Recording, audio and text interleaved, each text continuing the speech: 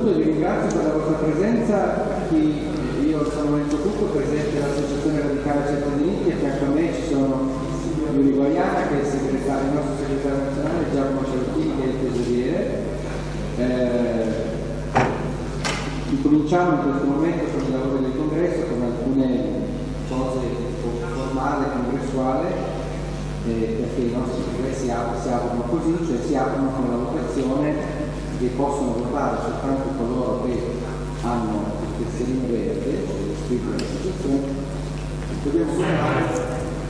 il programma dei lavori, il regolamento, il regolamento sostanzialmente. Ehm, e la, e la costituzione della presidenza. Allora, per, per la nostra tradizione, per, per uso radicale, eh, la nostra presidenza è fatta, è composta dagli eh, organi dell'associazione, dai parlamentari eletti nel Parlamento nazionale che sono iscritti a certi diritti e agli organi del Partito Internazionale del Partito Violento oltre che ai segretari e tesorieri dei soggetti costituenti del Partito Radicale. Eh, noi abbiamo un ordine di lavoro distribuzione al volete, vi, vi dico soltanto sommariamente come abbiamo pensato di organizzare i lavori di questo congresso. Eh, dopo l'apertura ci sarà Mezzoletti, le alcune associazioni che sono venute e del singolo che stiamo aspettando, che ha annunciato già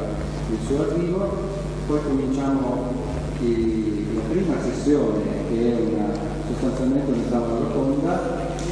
l'abbiamo intitolata con un titolo molto lungo eh, che in realtà dà un po' il senso delle, eh, della difficoltà che viviamo nel nostro paese, cioè l'abbiamo intitolata sulle riforme possibili. Noi abbiamo indicato comunque il matrimonio egualitario come obiettivo da cui la nostra associazione non non riflette, ma ci rendiamo conto che la situazione è tale per cui bisogna ragionare per riforme possibili, per riforme concretamente attuabili, se si può in questo Parlamento, comunque con, con un governo, sempre che il Parlamento riesca a esprimere un governo, eh, perché ci sono anche delle riforme possibili di tipo amministrativo, soltanto di. Questa sessione sarà condotta da Bruno Filippi, che è un nostro caro amico iscritto che ci ha aiutato in questi anni moltissimo, che ci darà un quadro delle, delle, ci darà un quadro delle iniziative necessarie, soprattutto di natura legislativa, perché secondo noi sono appunto necessarie per il pieno riconoscimento dell'uguaglianza di tutte le forme di convivenza di unione sia delle persone di stesso sesso che fra persone di sesso opposto.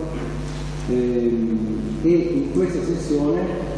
in questa sessione intervengono all'inizio i rappresentanti che noi abbiamo voluto uh, invitare al nostro congresso e che sono qui fisicamente presenti, eh, sono innanzitutto uh, Joël Lederoff, si pronuncia, comunque mi proteggerà lui, che è un attivista francese che noi conosciamo molto bene da molti anni, un attivista francese per i diritti LGBT ed è anche nello staff di Reuro perché ci dirà qualche cosa rispetto alla situazione francese. Come sapete, proprio ieri è cominciata l'ultima parte di discussione del progetto di paritario al Senato, quindi insomma, c'è tutta una evoluzione molto molto importante anche per l'Italia, non solo per l'Europa, anche per le ricadute che può avere sull'Italia. E abbiamo anche qui presente, vi ringraziamo per essere qui, Adrian Tret, che è, scusate, segretario del sindaco, spero che Adrian Tret che è il presidente del gruppo LGBT del Partito Liberale Democratico inglese, è una, per noi è una novità, la novità che non lo aveva fatto, e per noi è una bella novità ed è una siamo molto felici di averlo qui ospite perché ci racconterà anche lui su come sta andando la campagna in Gran Bretagna, come sapete anche in Gran Bretagna una discussione in Parlamento e la Camera ha già approvato e comincerà tra un mese e mezzo due la discussione alla House of Lords, la, la britannico, con una situazione molto complessa. E abbiamo anche contributi di altri amici eh, su altre situazioni eh, internazionali, in particolare Alejandro Brasil Salum sull'Argentina, sapete che in questo momento l'Argentina è un paese molto all'avanguardia sui diritti LGBT e sull'uguaglianza in generale, oltre che nell'intervento secondo me di Ryan Davis che è uno dei consulenti di Obama e il consulente di Obama per la Equal Marriage Campaign e, che ci dirà qualcosa di molto interessante secondo me su questa situazione. E poi intervengono sulla base di questi spunti, sulla base della loro disponibilità, sulla loro diciamo così, conoscenza, anche competenza, perché questa materia è molto ampia, alcuni amici, deputati e senatori, oltre che alcuni di loro anche iscritti ai cittadini, quindi a primo titolo membri partecipanti di questo congresso, che sono, che salutiamo, Ivan Scalfarotto, Benedetto della Vedova, Sergio Lo Giudice e poi ci sono, grazie per essere qui, e poi ci sono e poi ci sono eh, la deputata del Movimento 5 Stelle Rega Bolognese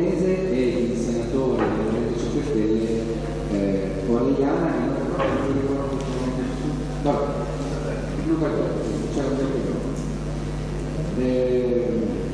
a loro diciamo così la richiesta di capire che cosa è possibile fare in questo Parlamento e con forse il futuro governo. Ehm, in attesa che arrivi il sindaco io comincerei la fase dei saluti, sono qui presenti alcuni rappresentanti di istituzioni e alcuni amici di associazioni nazionali che sono, sono a loro volta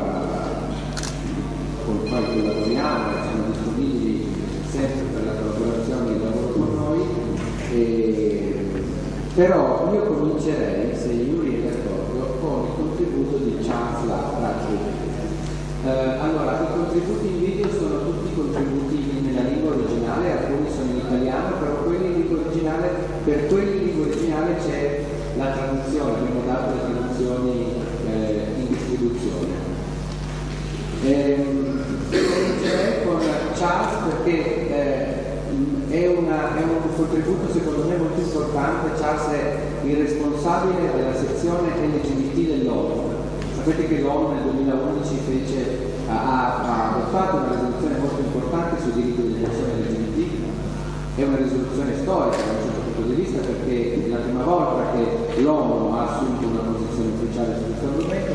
siamo nella fase di verifica e di monitoraggio di questa, eh, di questa, di questa risoluzione. E, ehm, di questa risoluzione e quindi io direi che cominciamo con questo video e poi diamo subito la parola al sindaco che è arrivato e ci porta questo video. La traduzione è in distribuzione per chi la vuole al tavolo, anche se l'inglese diciamo è abbastanza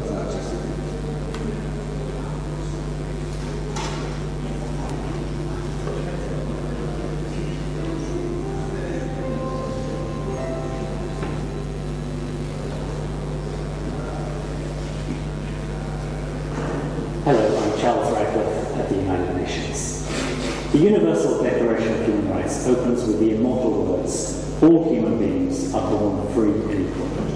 Yet around the world, lesbian, gay, bisexual, transgender, intersex people are harassed, attacked, imprisoned, and treated in a discriminatory manner. For many, the promise of the Universal Declaration rings hollow. They feel anything but free and equal. In 2010, UN Secretary General Ban Ki-moon and the High Commissioner for Human Rights Nabi Pillay launched a global appeal for the decriminalisation of homosexuality and for further measures to end homophobic violence and discrimination. Since then, we've seen the adoption of the first ever UN resolution on the issue, the first official UN report, and the first formal intergovernmental debate. After a long period of denial, a dialogue among states is at last unfolding with the United Nations. A lid has been lifted. Now, this is an issue where the politics are shifting fast. In 2005, when a statement expressing concern at violations against LGBT people was first circulated at the United Nations, 32 countries signed it. Within a year, that number had grown to 54. By 2008, it had increased to 67, and by 2011 to 85 states in all regions. Even so, deep divisions remain. And it's the same objections that come up again and again. First, that LGBT people are somehow asking for new rights or special rights. The fact is that the rights being demanded are neither new nor special. They are age old and universal. They're exactly the same rights that we're all entitled to. Among them, the right to life, personal security, privacy, health, education, the freedom from discrimination, and freedom of expression, association, and assembly. So no new rights needed, just proper enforcement of rights. Second, some say that because human rights treaties don't explicitly mention homophobic discrimination, that states have no legal obligation to tackle it. But international law requires states to protect the rights of everyone without distinction. There's no fine print, no hidden exemption clause in any of our international human rights treaties that would permit a state to guarantee full rights to some, but withhold them from others purely on the basis of their sexual orientation or their gender identity. Third, there is the view that sexual orientation and gender identity are somehow Western concepts that are being unfairly imposed on unwilling nations. But sexual orientation and gender identity are no more Western than racial identity, or disability, or age are Western. We all have a sexual orientation and a gender identity, whether we talk about it or not. It's part of our makeup as human beings. In fact, if anything can be traced to the West, it's the existence of many criminal laws that are used to prosecute and punish people on the basis of their sexual orientation and gender identity. These laws, that are still in place in some 76 countries, were in most cases imposed in the 19th century by the colonial powers of the day. They're relics of a bygone age. Perhaps the most common objection we hear is that same-sex relationships run counter to religious teachings and to prevailing traditional and cultural values in many societies. Now, it would be wrong to underestimate the importance of tradition, culture, and religion in shaping society, but they're not monolithic, nor can they override individual freedoms. The collective, however united, cannot impose its shared traditions, culture, and religious beliefs on an individual against his or her wishes. Take religion. Freedom of religion is a fundamental right. It's anchored in international law. People are fully entitled to believe and to follow in their own lives whatever religious teachings they choose. What's more, they're entitled to protection from discrimination on the basis of their religious beliefs. But they're not entitled to discriminate against others whose views and values differ from their own. This is not the first time that tradition, culture, and religion have been used as a pretext for denying people equal rights. Slavery, child marriage, marital rape, honor killings, the denial of property and inheritance rights to women, female genital mutilation, all of these have been defended in their time on grounds of tradition, culture, or religion. In this case, the conflict between the rights of LGBT people on the one hand and culture, tradition, and religion on the other is a false one. The protection of one need not be at the expense of the other. The key is to bring the debate back to the rights of individuals, including the right to define their own values, beliefs, and culture for themselves. We still have a long way to go to end violence and discrimination against LGBT people. The debate here at the United Nations is just starting. To be meaningful, it must be informed by facts. And that requires violations to be systematically monitored, documented, and reported. The same level of scrutiny should apply to these violations as to all others. This is a great human rights cause, on a par with earlier struggles to eliminate other kinds of prejudice and discrimination. Overcoming resistance, countering prejudice, convincing governments to step up and protect LGBT people. None of this will be easy, but the defense of basic rights demands nothing less of us. Thank you.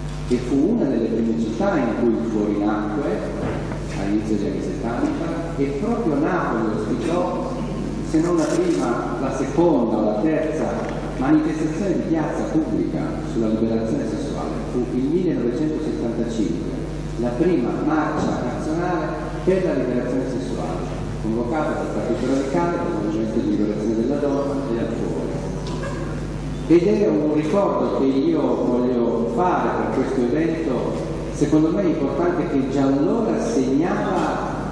la nostra visione della questione dei diritti sessuali delle persone. Mai abbiamo dimenticato che stiamo parlando di libertà per tutti e per tutte, perché non esiste libertà per tutti e per tutte, diritti per tutti e per tutte, se non esiste anche per le singole persone, per le omosessuali, per tutti. E Napoli era in questa direzione, in Napoli ci sono state esperienze molto significative, molto importanti. Però noi siamo a Napoli anche per il futuro. Eh,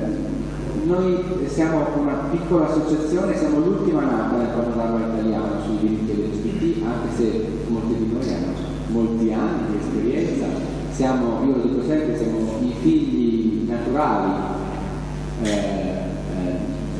fuori della, e, facciamo parte della storia radicale, quindi di una tradizione culturale, oltre che politica di questo paese molto connotata anche su questi temi e che mi permetto di dire, anche se lo dico io che ne faccio parte di questa storia, ha dato a questo Paese cose importanti, anche obiettivi raggiunti importanti, non soltanto principi e, no, e ideali, ma anche obiettivi raggiunti in questo tema. Ecco, noi guardiamo, io lo dico con molta onestà e sincerità, signor Sindaco, l'ho detto anche ieri alla sua assessora che ha voluto fare poco di fa, che ha voluto molto, molto gentilmente partecipare al dibattito sulla regolamentazione della Costituzione che abbiamo tenuto ieri nel nostro congresso e che ringrazio anche per essere qui anche oggi. Eh, noi guardiamo con grande attenzione alle esperienze dei comuni perché il Parlamento sembra non sentirci in questi argomenti, non vede, non sente, non, non fa niente. In questi anni è stato totalmente vuoto di iniziative e, non, e, la nostra attenzione a quello che i comuni e le autonomie locali possono fare non è sostitutiva, io ci, ci tengo molto, non è che aspettiamo che, che, il Parlamento si muova e quindi chiediamo ai comuni di muoversi, no, i comuni hanno specifiche competenze entro le quali possono sviluppare tutta la loro possibilità di intervento,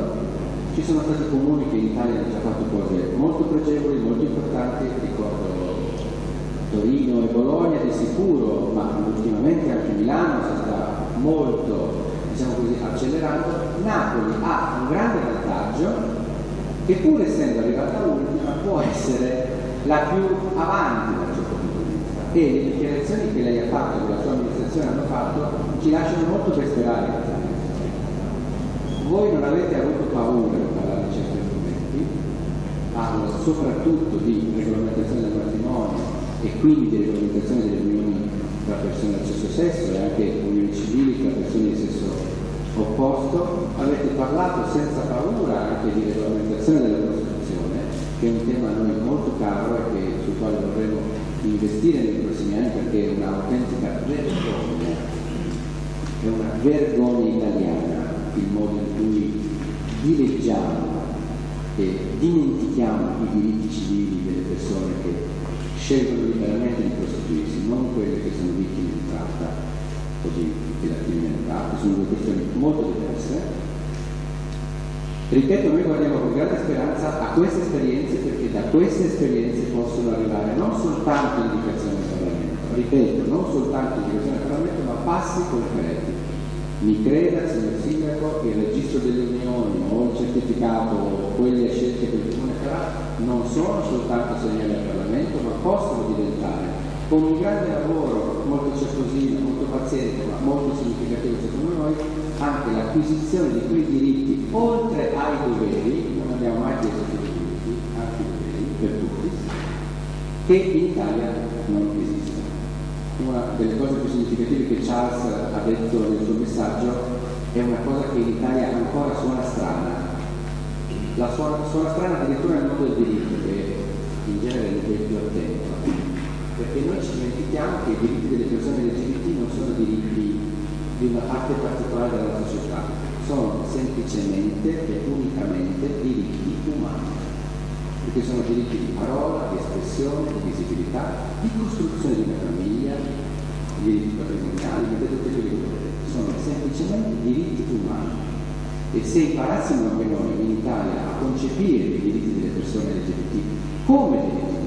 cambierebbe completamente il quadro entro il quale le nostre iniziative si inseriscono e il rapporto con le istituzioni si inserisce. Quindi io la ringrazio molto, signor Sindaco, per la sua ospitalità, per essere venuto e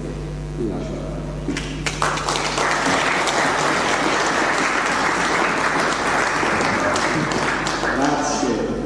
buongiorno, sono io che ringrazio l'Associazione Radicale Certi Diritti per aver scelto Napoli come sesto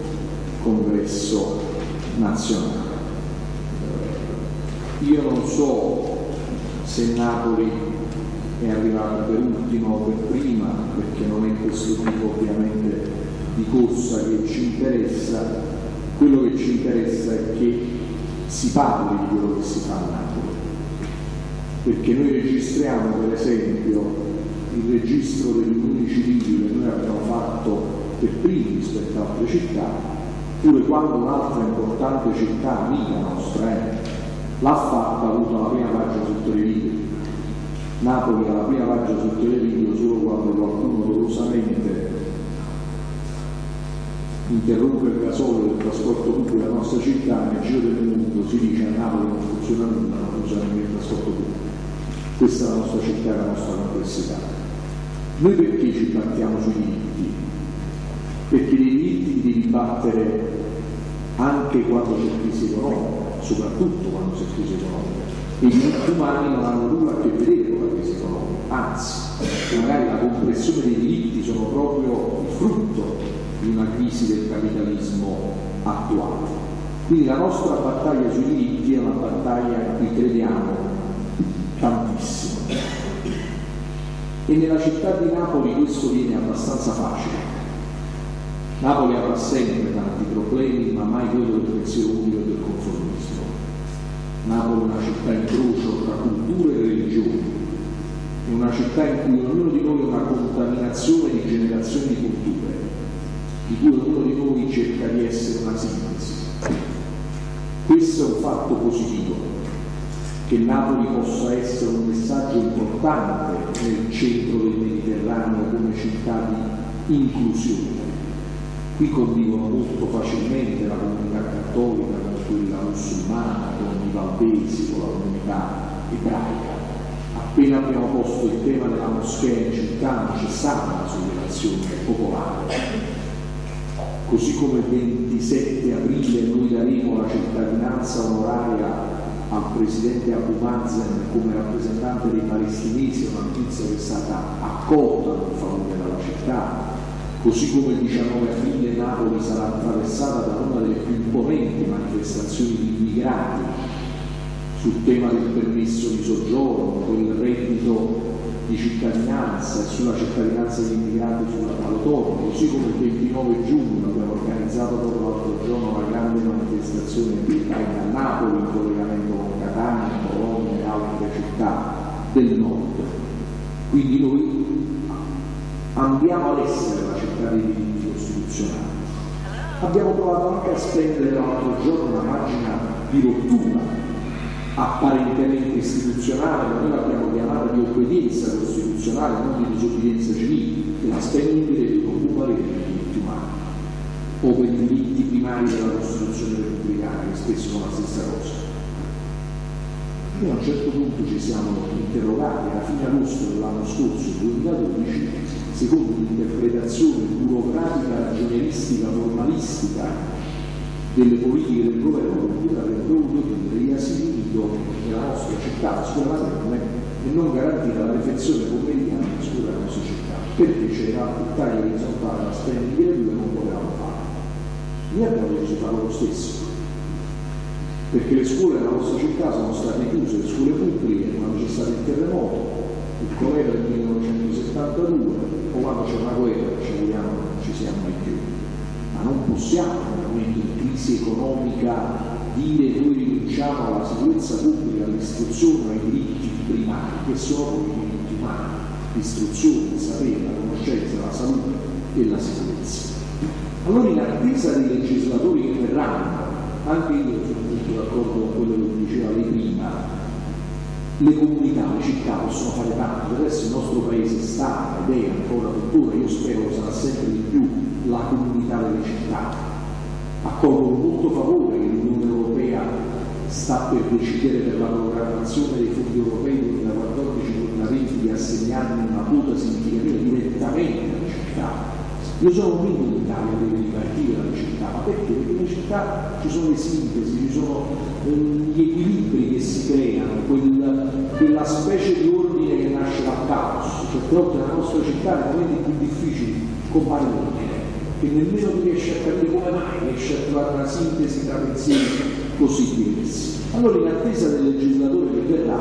abbiamo provato a fare delle cose che secondo me, secondo noi, non sono solo il registro dei civili. Per noi l'unica unione che reggerà per sempre è la luce. Il resto sono costruzioni formalistiche delle epoche contingenti. Alcune chiamano borghesi, altre chiamano legislative, altre chiamano normative, burocratiche. Per noi qualunque legame ha una sua uguale dignità. Ognuno si sceglie il legame che vuole, che amena, che sente noi dobbiamo garantire medesimi diritti a chi sceglie di stare insieme, quindi facilitare. È un registro che è nato, che deve crescere anche grazie all'iniziativa di questo, alla comunicazione, e ha un registro non ha solo un valore simbolico, non ha solo il valore di dire noi lo facciamo in attesa che il Parlamento lo possa fare. Noi accompagniamo anche una serie di diritti a il diritto di partecipare a un bando dell'assegnazione di una casa popolare, il diritto a partecipare a servizi della città a cui possono partecipare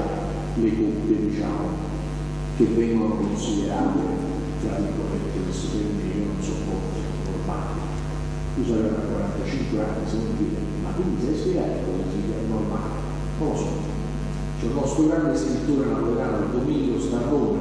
che ha scritto siamo diventati il paese normale eleganza. I normali vengono considerati sovversivi, e i deviati diventano normali e si fanno come le mafie che si istituzionalizzano e si fanno magari le leggi a loro misura. Quindi questo concetto di normalità io non saprei mai e credo che non ha proprio una sua definizione di che cosa è normalità. Il testamento biologico, io mi sono emozionato dai dibattiti che abbiamo fatto nella nostra città, con Gretti, insomma con Milano, veramente sono state giornate importanti che ci hanno fatto crescere, la città vissuta, accettato e devo dire alla fine anche con la componente cattolica si è trovato un punto di equilibrio importante. Così come abbiamo fatto la cittadinanza onoraria ai figli di migranti. Ma come possiamo accettare nel 2013 che abbiamo dei nostri concittadini di 25 e 30 anni che permesso di soggiorno, anche qui una grande rivoluzione di diritti globale mercato dell'Unione Europea nel 50 con il Trattato di Roma si preoccupò di garantire immediatamente la libera circolazione delle merci e dei capitali, capitali, che è sempre prima della persona. Che dal 2013 le persone ancora non possono circolare liberamente. I rifugiati libici bombardati da una parte da Gheddafi, dall'altra dalla Nato, decidevano di venire nel nostro paese, no, può entrare solo se ha un permesso di soggiorno, un permesso di soggiorno legato al posto di lavoro e più onesto intellettualmente dire ti sparo una caccia bombardiera, ti faccio venire perché tanto non hai a venire. Allora io penso che il tema è questo, il tema globale è la libera circolazione delle persone nel mondo, perché è insopportabile questo dato di non garantire la circolazione delle persone. Allora la cittadinanza onoraria figli degli immigrati, anche lì non abbiamo fatto solo un atto simbolico, perché ai figli degli immigrati che nascono nella nostra difficile ma straordinaria città, noi diamo una carta di diritti sociali comunali, gli stessi che hanno figlio e i figli dei napoletani e degli italiani. E questo è accettato, non ci sono state mobilitazioni popolari, non ci sono state eh, ma non ci sono stati atti di insofferenza e intolleranza. È bellissimo vedere le scuole della nostra città contaminate da colori diversi. Qua non posso che ricordare quella straordinaria manifesto di Ventotene da Piero Spinelli quando disse a proposito dell'Unione Europea, dell'Europa, uniti nelle diversità.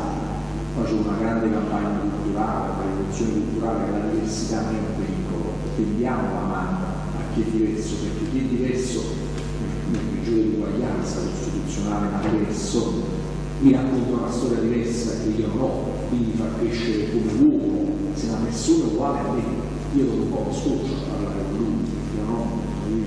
la io e stessi magari io, quindi questo discorso della contaminazione tra diversi è fondamentale. Quindi noi siamo contenti e stiamo a fianco delle lotte per i diritti, eh, ovviamente nella nostra esperienza è caratterizzata molto la condivisione del principio dei diritti, e chiudo su questo, ma non di una legalità formale che non ci appartiene tanto. Ecco perché io preferisco parlare di diritti e di giustizia. Ho sempre più difficoltà a parlare di legalità, perché oggi atti ingiusti ed abusi di potere vengono proprio dalla legalità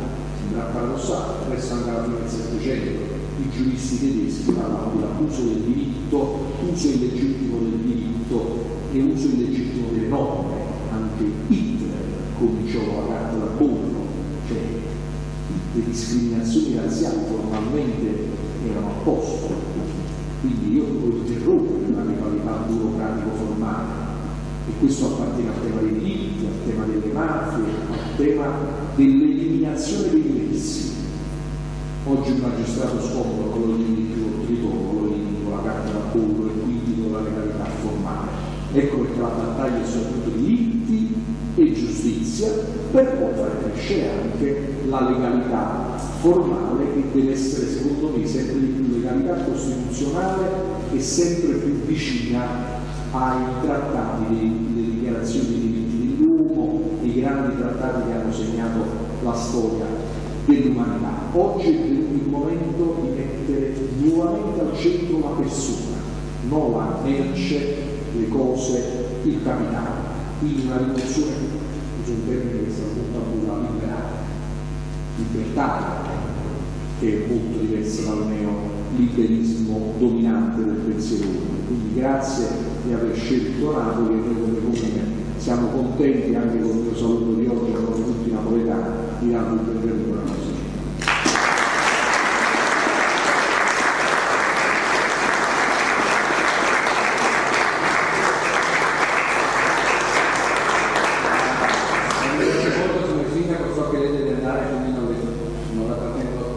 Oltre, volevo però dire due brevissime cose perché giusto secondo me dare rilievo ad alcune delle cose che ci uniscono e che ci potrebbero eh, vedere sullo stesso livello di attenzione e di impegno, perché non è vero che cioè, le amministrazioni comunali possono benissimo allearsi con associazioni di certi temi.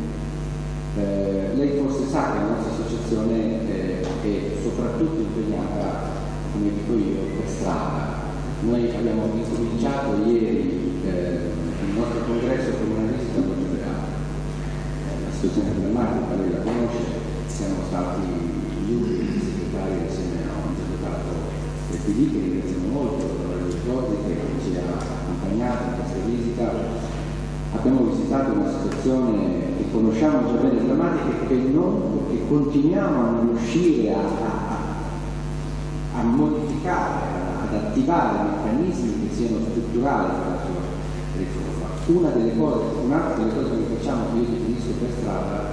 e che in assenza di capacità incisiva da parte nostra sulle forze del Parlamento noi abbiamo scelto la via dei tribunali. Tre anni fa, all'inizio della nostra esperienza, in un dibattito a Torino, famoso per le scuole torinesi che non faccio nome, ci disse in faccia molto seccamente i diritti non si chiedono da i tribunali non servono per riconoscere i vostri diritti. E la storia è esattamente il contrario. La storia è esattamente il contrario. Laddove c'è un magistrato, laddove c'è un tribunale che è attento non soltanto alla formalità della carta, delle nostre carte di legge, ma alla sostanza del positivo di fronte, i tribunali possono essere invece un luogo importantissimo dove chiedere riconoscimento di quello che nella Carta Costituzionale c'è già e nelle carte europee c'è già e che, che il nostro non ci riconosce. C'è un'ultima cosa che le voglio dire che è questa, che è una proposta che la faccio pubblicamente, eh, lei mi mette libero di valutarla, di accettare, di risponderci, ci vedremo più avanti. Uno degli strumenti più importanti per l'avanzamento della campagna sulla libertà di matrimonio negli Stati Uniti è stato, come immagino che sappiate, un manifesto appello firmato dai sindaci dell'amministrazione è stato un documento potentissimo che hanno firmato sindaci molto noti, Bloomberg, sindaci delle grandi città, ma anche tanti sindaci eh, città piccole, decisamente. Che anche quello ha un valore non soltanto formale, ma istituzionale molto forte, perché è una presa di posizione chiara, netta, no? di dove stiamo, da che parte stiamo. Lei su questo tema si è già esposto, ha già detto di essere favorevole alla ugualità, noi c'è il diritto per tutti di accedere agli istituti giuridici esistenti e magari di riformarli un po' per migliorare. Ecco, se, se lei volesse essere insieme ad altri sindaci di questo paese, firmatario di un grande appello dei sindaci per la libertà del matrimonio, per il matrimonio perché le famiglie tornino al centro dell'attività del nostro paese, ma tutte le famiglie, non soltanto tutti i famiglie, ma tutte, questo potrebbe essere un po' facile, non deve essere benissimo. Quando di fretta non posso rispondere perché nel senso gli impegni sono tanti. Assolutamente eh, sono d'accordo a questa iniziativa così come si è fatto su battaglie importanti prendo l'impegno a scriverlo, a scriverlo direttamente io e farlo girare tra le amiche e amici che amministrano città grandi e meno grandi, quindi questo lo farò, lo farò senz'altro. Voglio aggiungere anche un'altra cosa sui detenuti. Se passate da Palazzo San Giacomo, qua di fronte trovate un manifesto grande che sui balconi fate presto, abbiamo aderito alla campagna del un carcere possibile, quindi il tema ci è molto caro e noi stiamo facendo un lavoro importante con le direzioni dei carceri della nostra città per il lavoro dei detenuti in città, in modo da favorire i permessi brevi, gli inserimenti, in, per esempio nella sistemazione di giardini, nella uh, pulitura di atti vandalici sui monumenti, nella, nel decoro urbano, un lavoro molto importante perché fa reintegrare il detenuto nel tessuto sociale e li fa uscire sempre di più dal, dal, dal carcere. Quindi anche su questo devo dire c'è un'attenzione molto forte, così proprio per chiudere per soli ieri mi pare che siete occupati sul tema della Costituzione, anche qui devo dire qua il dibattito si è un po' più acceso con la componente diciamo, cattolica della città, però anche su questo noi abbiamo detto sicuramente un no fermo a ogni forma di repressione. La repressione deve riguardare la tratta di esseri umani, in generale, in particolare di esseri umani minorenni, ma noi siamo assolutamente contro la repressione delle vittime o di chi sceglie di uh, fare un qualcosa. Quindi questo anche c'è un lavoro interessante che sta andando avanti molto bene anche con le associazioni che operano sul territorio e devo dire anche con una sensibilità delle forze istituzionali, comprese le forze dell'ordine, Polizia di Stato e Polizia Municipale, una componente molto sensibile, quindi anche là credo che nelle prossime settimane, non voglio anticipare nulla perché è un tema molto sentito, ma ci saranno delle novità che vanno proprio nel senso dell'accoglienza, dell'integrazione, della vicinanza di fronte a quel ci rivedremo al sotto sperando che ormai questo ha fatto le passi in avanti. Grazie.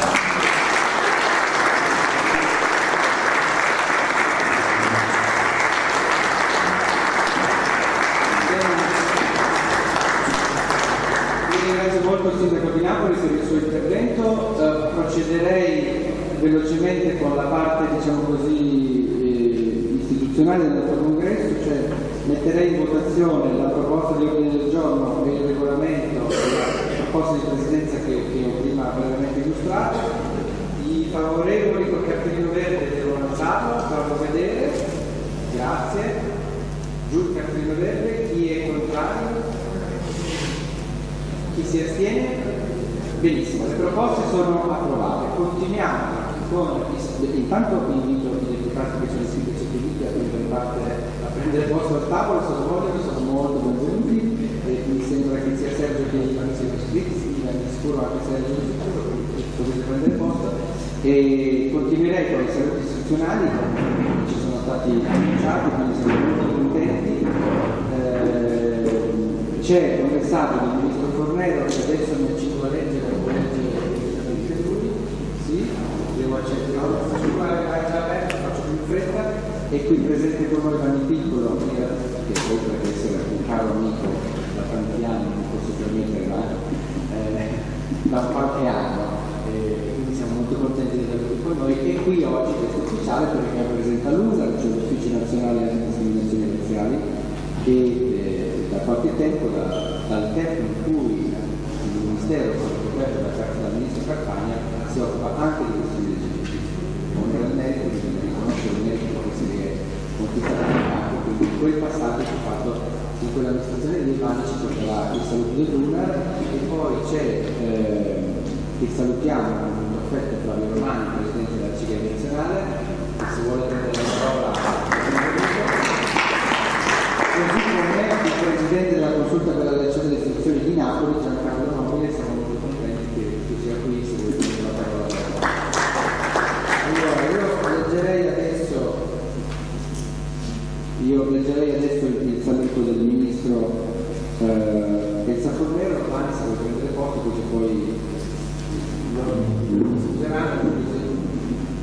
Sì, sì.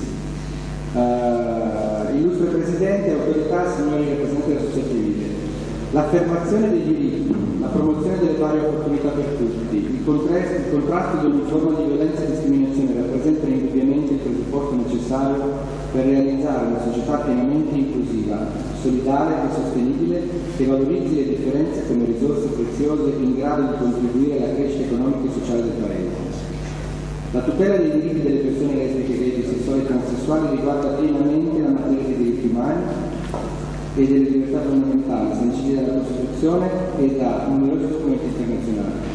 Sono fermamente convinta che tali diritti debbano essere riconosciuti ad ogni individuo senza alcuna eccezione, poiché garantendo i diritti delle persone LGBT si afferma un principio basilare della democrazia, che è quello del rispetto della libertà e della dignità di ciascuno Purtroppo ancora oggi le persone LGBT sono vittime di atti discriminatori o violenti, spesso perpetrati sulla base di pregiudizi e stereotipi. Il contrasto dell'omofobia e della transfobia rappresenta quindi una sfida che dobbiamo affrontare a livello nazionale e internazionale, sia sul piano normativo che su quello culturale. Come Ministro del Lavoro e delle Politiche Sociali con delega alle pari opportunità, proprio la scorsa settimana ho partecipato alla conferenza internazionale di Parigi dedicata ai diritti delle persone LGBT durante la quale è stata ribadita con forza la volontà dell'Europa di agire politicamente perché a livello internazionale, europeo e dei singoli Stati siano garantiti i diritti fondamentali e sia innalzato il livello della tutela. Sono convinta che l'azione comune sul piano internazionale non potrà che rafforzare la possibilità di raggiungere risultati positivi nel contrasto di queste due forme di violenza e discriminazione e auspico che si possa giungere all'adozione di linee guida sui diritti delle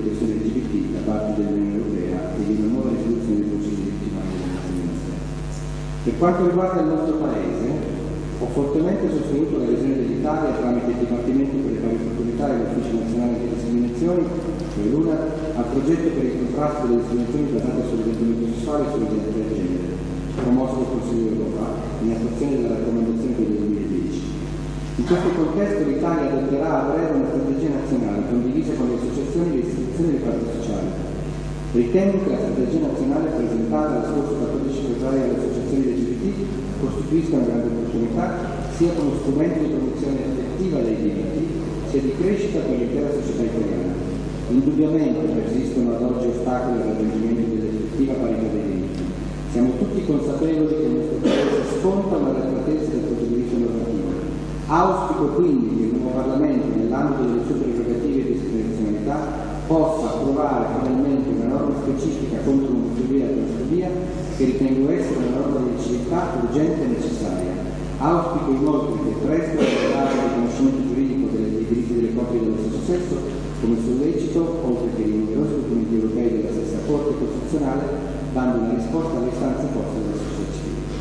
Sono convinta che l'intervento normativo debba necessariamente essere accompagnato anche da un cambiamento culturale profondo, partire dal mondo della scuola, in cui è importante prevedere percorsi di sensibilizzazione sui temi dell'orientamento sessuale e dell'identità del genere,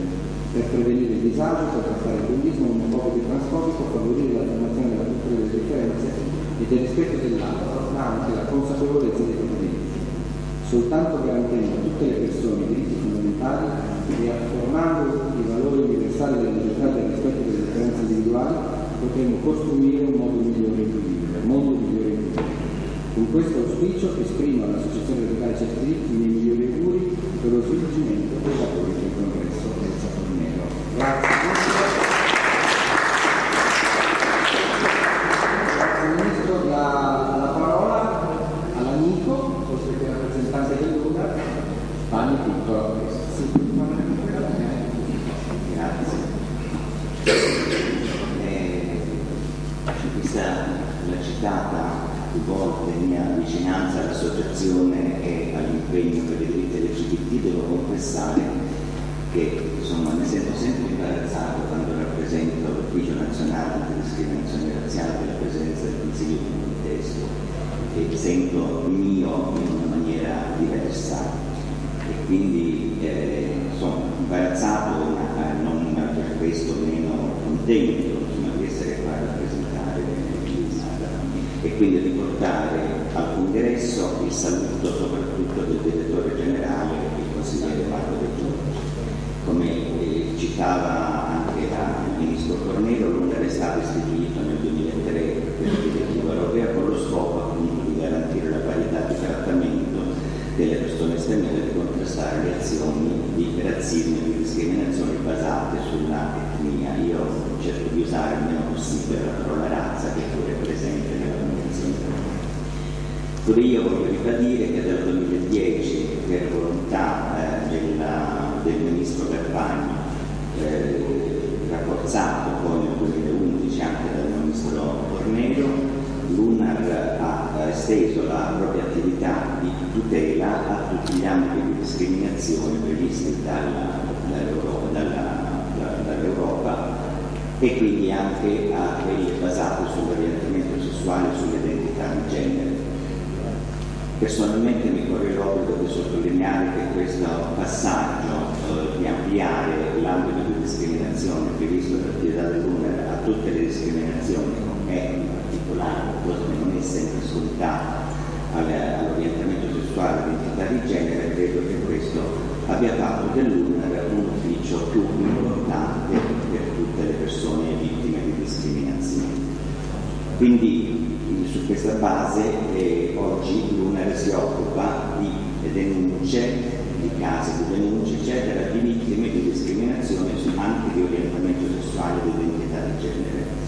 Questa azione dell'ufficio, a mio avviso, ha sicuramente anche incoraggiato le denunce di vittime di, di discriminazione omosessuali e transessuali, come dimostrano i casi che arrivano al nostro contact center di cui mi piace sempre ricordare il numero 890 1010 e che quindi eh, forse anche per l'ampliamento eh, registra sempre una, dire, un trend in aumento che secondo me è positivo perché vuol dire che si ha più consapevolezza, più coraggio, insomma c'è più informazione e quindi le denunce sono anche più incoraggiate in questo senso. Quindi eh, mi, mi corre l'obbligo di, eh, di ricordare su questo passaggio il servizio di eccellenza che una rapidata da il servizio di back office per una consulenza specialistica sui casi di discriminazione omosessuale e transessuale, che è stato, voglio dire, tra i vari back office, non voglio dire il, il migliore, però sicuramente all'altezza della situazione con gli operatori, sia che non ci sono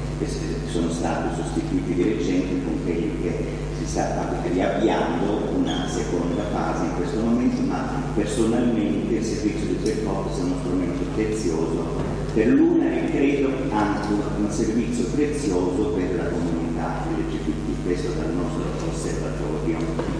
E mi piace anche ricordare che è stata preziosa la costituzione di un tavolo eh, transessuale presso la Presidenza del Consiglio che ha visto sia nel 2010 che continuato nel 2011 anche grazie all'apporto delle associazioni transessuali, anche delle parti sociali, approfitto per salutare signor Pignolo che è stata presente negli incontri fatti proprio in quell'occasione con Paolo transessuale e grazie anche al documento già presente, già presentato dalla CGL, le associazioni hanno costruito un nuovo documento validissimo, soprattutto in campo lavorativo. L'UNER ha aderito al progetto, come eh, diceva il Ministro Cornero, promosso dal Consiglio d'Europa sul contrasto alle discriminazioni basate sull'orientamento sessuale e sull'identità di genere. Anche qua io esprimo eh, insomma, la soddisfazione di tutti per il rapporto delle associazioni che sono state, voglio dire, eh, impegnate in diverse già al momento in cui erano presenti i rappresentanti del Consiglio d'Europa, nel tutto l'incontro con tutte le associazioni omosessuali, è un settore particolare con le associazioni transessuali e che, eh, eh, e che eh, quindi hanno contribuito con i loro rapporti che devo ricordare che siete stati primi, certi diritti e, e sicuramente anche molto incisivi nella, eh, nel contributo dato per la stesura della strategia nazionale per garantire pari opportunità alla comunità LGBT. Ci siamo mossi eh, sul lavoro su quattro assi che abbiamo ritenuto importanti, che sono stati anche condivisi dalle associazioni, educazione, istruzione, lavoro, sicurezza e carceri, comunicazione e media. Quindi eh, devo assolutamente eh, che questa, mi sembra che questa strategia eh, impostata attraverso il metodo della partecipazione attiva, perché abbiamo incontrato non solo le associazioni ma anche le parti sociali, l'Ostat, i media, e la rete reti e la l'ANCI, quindi è stata una consultazione secondo me molto profonda, approfondita e oggi questa strategia è in fase di ultimazione, nel senso che stiamo mettendo a posto la sistemazione definitiva per essere definitivamente pubblicata sul sito dell'UNA tra qualche giorno. Quindi eh, dopo la pubblicazione l'UNA procederà a, diciamo, a momenti di attuazione attraverso bandi, progetti, in modo che gli enunciati della strategia possono trovare un'attuazione, un'attuazione pratica. E dopo di questo, eh, come, come, chiusura, sempre come UNAL, mh, sono veramente felice perché è un lavoro portato avanti anche da me come membro del tavolo tecnico, come rappresentante dell'UNAL nel tavolo tecnico della regione Campania, per la costituzione di una rete territoriale, di reti territoriali che sono presenti un po' in molte regioni d'Italia, finalmente anche la Campania ha pubblicato di recente il bando per, manifestazione di interesse e, e si è chiuso il 2 e sono contento di aver visto tra le adesioni anche il Comune di Napoli, approfitto per salutare Tina Domasieri che sicuramente è sempre molto attiva, non si lascia sfuggire l'occasione per sfruttare altre occasioni venute dall'alto e io avendo constatato sia perché come diceva Enzo Napoli è stata eh, un luogo eh, non di mia militanza, perché la mia militanza nasce un po' più tardi, ma di partecipazione, voglio dire, a manifestazioni, anche ad una vita sociale, insomma, io mi ricordo che negli anni 70 la lingua ufficiale del mondo, eh, del mondo gay è napoletano, soprattutto quando sono sopravvenuti i campeggi gay, questo non lo dico come una, insomma, non riesco a stare interessato in una cosa, per cui io sono testimone del fatto che Napoli, come diceva Enzo, mi ricordava Enzo al sindaco, ha avuto sempre una grande vitalità e una grande libertà di convivenza e che quindi che si possa dire a Napoli esiste un pregiudizio, io non ne sono molto convinto, che esistono atti di razzismo non ne sono neanche molto convinto. Per questo su questa piattaforma, con un'amministrazione mi decisamente aperta, io credo che eh, si possa approfittare anche di questa nuova occasione che ci offre il bando della Regione Lazio per, fare, per dare ancora maggiori strumenti a questo fermento associativo e voglio ricordare qua i due comitati eh, arcigheri provinciali di Napoli e di Salerno, che sono stato molto vicino, Ciantonello Sannino, che insomma fatto di Sanatiago, il Pride di Salerno, di, quale anno fa ne fa, per me è stato straordinario, emozionante perché si è ritrovato un po' l'entusiasmo dei, dei primi Pride, dei primi, dei primi momenti di battaglia, per cui mi auguro che anche questo sia un servizio per le denunce ma anche una crescita culturale perché le istituzioni assieme alle associazioni non hanno solo il dovere di essere, come posso dire, promuovere atti amministrativi in questo tendente, ma soprattutto di promuovere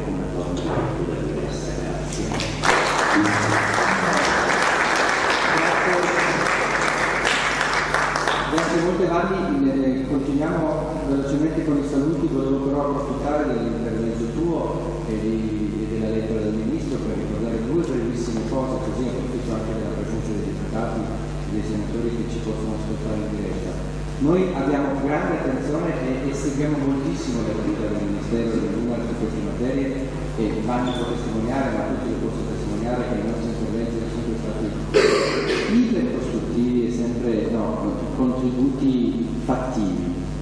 Dopodiché mi permetto di segnalare due cose. Credo che la strategia nazionale debba essere adottata con un atto formale Così è stato in Francia, così è stato in Olanda, così è stato in Danimarca, così è stato in tutti i paesi che hanno seriamente preso sul serio le indicazioni del Consiglio d'Europa perché non c'è nulla da togliere alla politica dell'una e all'impegno dell'una, non è che la pubblicazione di un documento non sia sufficiente per l'una per attivarsi, ma il governo deve dire le cose esplicitamente attraverso gli atti formali che il governo usa. Cioè, Elsa Fornero, che è un ministro sulla, sulla, cui disponibilità personale io ci avevo messo la mano sul fuoco da sempre, perché conoscendo conoscendo la persona il problema non è quello, è il governo che si esprime, è il governo che deve essere nel paese. E se il governo non ce la fa, lo può fare il Parlamento. Eh? Le commissioni possono adottare documenti di programmazione e quindi come dire, se le commissioni si potessero riunire eh, eh, potrebbero fare questo lavoro. Altra indicazione, forse un po' tecnica, ma ve la butto lì perché chi lavora in questo settore lo deve sapere, questo è un momento straordinariamente importante per tutte le politiche contro l'esclusione sociale, perché si sta discutendo a livello nazionale e con l'Unione Europea i fondi strutturali. Mi citava il sindaco prima una delle decisioni storiche che verranno prese sarà quella di dare fondi direttamente agli locali. Se la lotta contro le discriminazioni non viene inserita esplicitamente lì a livello del PON, cioè del piano nazionale sui fondi strutturali e parlano soltanto del fondo sociale europeo ma anche del PES, cioè di tutti i fondi strutturali che arrivano dall'Europa, noi perdiamo un'occasione storica perché quelle sono le uniche risorse che avremo per i prossimi sette anni, non ce n'è più di soldi. Quelle sono le risorse che possiamo usare. Tutta Europa usa i fondi strutturali per fare lotta alle discriminazioni, fa della lotta alle discriminazioni, comprese per iniziative eh, sulla prostituzione, eh, si usano quei fondi. Tutta Europa usa quei fondi, noi pochissimi. Ci vuole un passaggio formale di assunzione importante di responsabilità in questo ambito. E guardate che lo scherzetto è molto facile da fare perché l'Unione Europea ha individuato ben 18 obiettivi, non uno, 18 obiettivi, tra cui anche quello della lotta contro le discriminazioni basate sull'orientazione di di genere. Peccato che abbia lasciato agli Stati nazionali la libertà di scelta di sceglierne 4 di questi 18. Eh? Allora questa è la chiave per distruggere questa possibilità e se non si sta attenti, il governo, perché qui è il governo che ha il potere, eh, il Parlamento può inserire, il governo se non si noi prendiamo questo treno e arrivederci.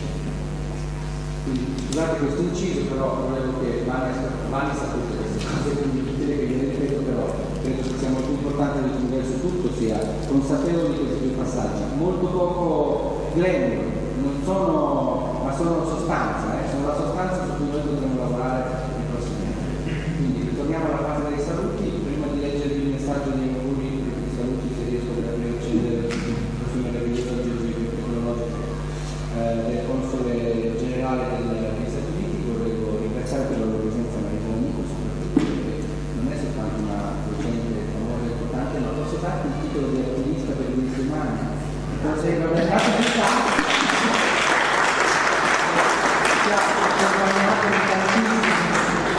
delle iniziative che noi facciamo e anche le sue, quelle che lei segue con altre istituzioni, con altre persone e voglio ringraziare anche per la sua presenza oggi, oltre che quella di ieri, di Jacobre, che a cui noi vogliamo molto bene, che è qui anche oggi per allora, questo è il messaggio del Console Generale degli Stati Uniti, che si chiama Donald Moore, che dice ai gentili partecipanti ringrazio l'associazione radicale certi diritti per l'invito a prendere parte al del congresso. Purtroppo i miei impegni Innanzitutto desidero congratularmi con l'associazione stessa per aver organizzato questo congresso per il costante lavoro a tutela dei diritti civili delle famiglie, indipendentemente dall'orientamento sessuale dei singoli soggetti. In particolar modo il tema dell'uguaglianza dei diritti risulta pregnante e attualissimo anche negli Stati Uniti ed è stato apertamente sostenuto dal Presidente Obama durante la sua recente campagna elettorale. Vorrei anche sottolineare a questo proposito che tra gli obiettivi della missione americana in Italia rientrano il sostegno ai processi di integrazione sociale e la lotta ai pregiudizi di ogni genere e natura. C'è sicuramente molta strada da percorrere nei nostri paesi, ma è grazie ad occasioni del genere e alla mobilitazione attiva di associazioni come questa che l'obiettivo risulta sempre più vicino. Rinnovo la congratulazione con l'augurio di buon lavoro, buon lavoro. Eh, dobbiamo accelerare i lavori, tanto per cambiare siamo sempre in ritardo, perché è una classica cosa nostra. Allora la parola a Loran, Presidente dell'Associazione eh, Scusa, Presidente, non augurio per ricordare la Presidenza della nostra associazione e della, dell'Associazione Arcigay Nazionale che siamo molto contenti di sia con noi oggi. Buongiorno, salve, salve a tutti, sarò davvero molto breve, è un piacere e un onore per me essere qua a presentare Arcigay di questo importante congresso, ma oltre al saluto di Arcigay sono qua per, per ringraziare certi diritti, per ringraziare il Fucucco, Iuri e tutti gli amici dell'Associazione dei certi diritti per il lavoro tenace, eh, a volte visionario, ma sempre come dire, molto molto pregnante nella difesa eh, dei diritti civili eh, di questo Paese. È un lavoro che in buona parte coincide con il lavoro che facciamo noi come Arcigay, come altre associazioni LGBT in Italia,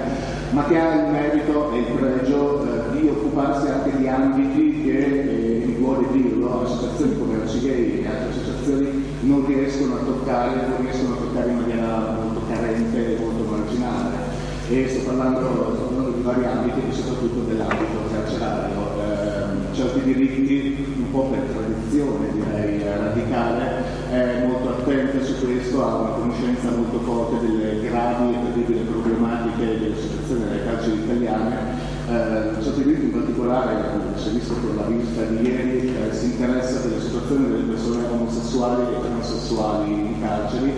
nelle carceri, eh, Arcigay e altre associazioni non riescono a farlo con, una, con uguale attenzione uguale cura per fortuna che ci siete voi e questo vi voglio, vi voglio ringraziare. Vi voglio ringraziare anche per aver dedicato questo congresso a Rosa Parks. A Rosa Parks, eh, l'accademica a Rosa Parks, di là del centenario della nascita, è quanto mai dire, azzeccata e centrata, perché il, il cuore del piccolo e grande gesto, grandissimo gesto che ha fatto Parks sull'autobus di Montgomery in Alabama, il cuore di questo gesto è quanto di più attuale, quanto di più vicino eh, sia al cuore delle nostre rivendicazioni in questo momento. E il cuore delle nostre rivendicazioni in questo momento portano tutti verso un obiettivo, la fine di ogni discriminazione, l'uguaglianza e la parità di tutti quanti, a tutti i livelli. E l'argomento simbolo, il, il, punto focale su cui ci concentriamo, che non è l'unico, ma però insomma, è proprio il simbolo maggiore, è proprio il matrimonio, il matrimonio egualitario. un matrimonio egualitario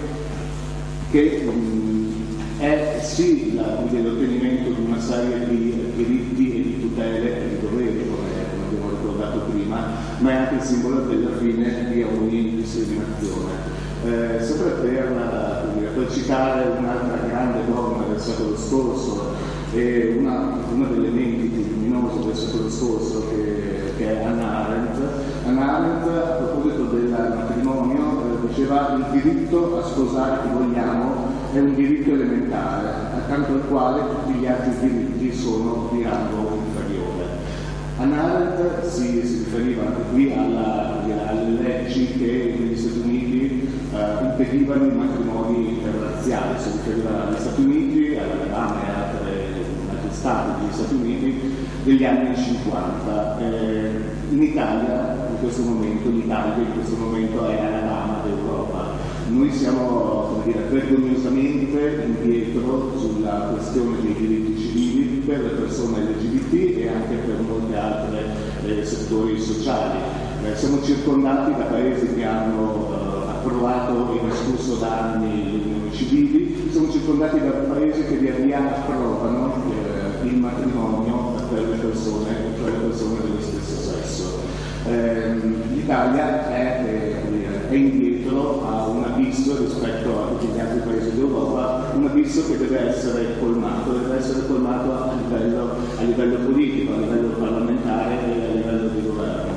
Eh, noi stiamo, stiamo, osservando un po' come tutti la situazione italiana attuale, stiamo osservando lo stallo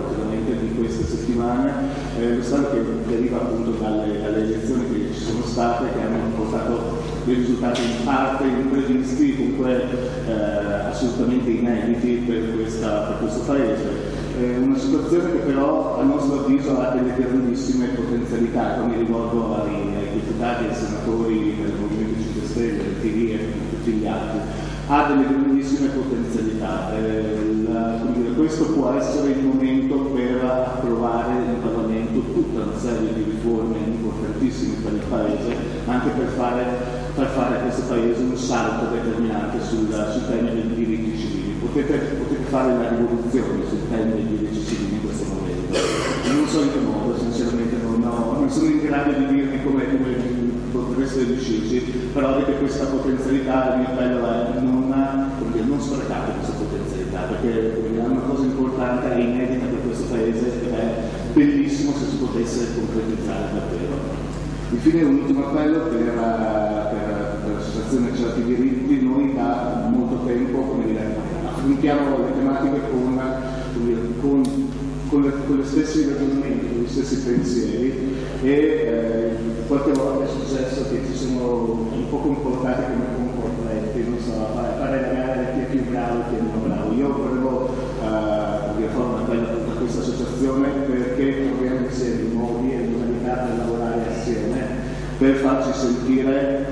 unire tutte le nostre voci e farci sentire come una voce unità e fare pressione a tutti i livelli, a livello parlamentare, a livello perché appunto le nostre rivendicazioni abbiano una uno sviluppo concreto che si risolva. Finito qui,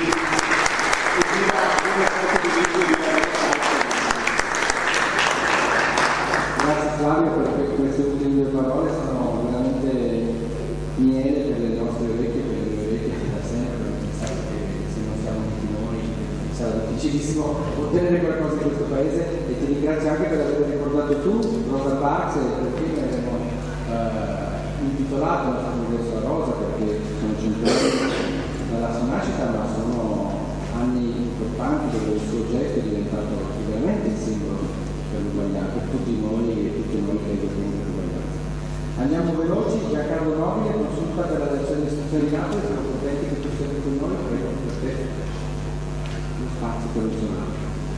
poi cominciamo la sessione delle proprie con uno e saluto gli amici di Diritti per questa bella iniziativa. Eh, il mio sindaco già vi ha spiegato che questa città sul piano politico sia molto avanzata. Eh, man mano stanno venendo fuori eh, le delibere molto importanti, ideologica, ma è una rivoluzione che sta avvenendo in Italia dalla spina dal basso. Nelle città italiane le consulte, quelle consulte sono un network di associazioni, mi ha chiamato presidente prima, non sono presidente, sono il coordinatore di una serie di associazioni, del paese di tante associazioni, che stanno mutando totalmente la, la realtà delle città italiane. Ormai questa oggi fanno tutti, le unioni civili hanno quasi le città, a Napoli anche Pozzuoli, zone di massima presenza valore, Casore, ce l'hanno Ormai è una rivoluzione in atto, però è una rivoluzione che si ferma alle soglie del Parlamento italiano. Arrivato al Parlamento italiano questa realtà finisce. Eh, pochi giorni fa è uscito il nuovo rapporto della critica liberale sulla situazione della, della città in Italia e ribadisce sempre la stessa questione. L'Italia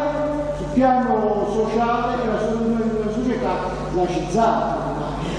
quasi a livello europeo, tolto un po' il sud che ha dei problemi suoi, è una nazione sul piano sociale, si è accettato certe cose eh, noi stiamo raccogliendo le firme per eh, il fine vita con la Coscioni e la gente viene a firmare senza problemi.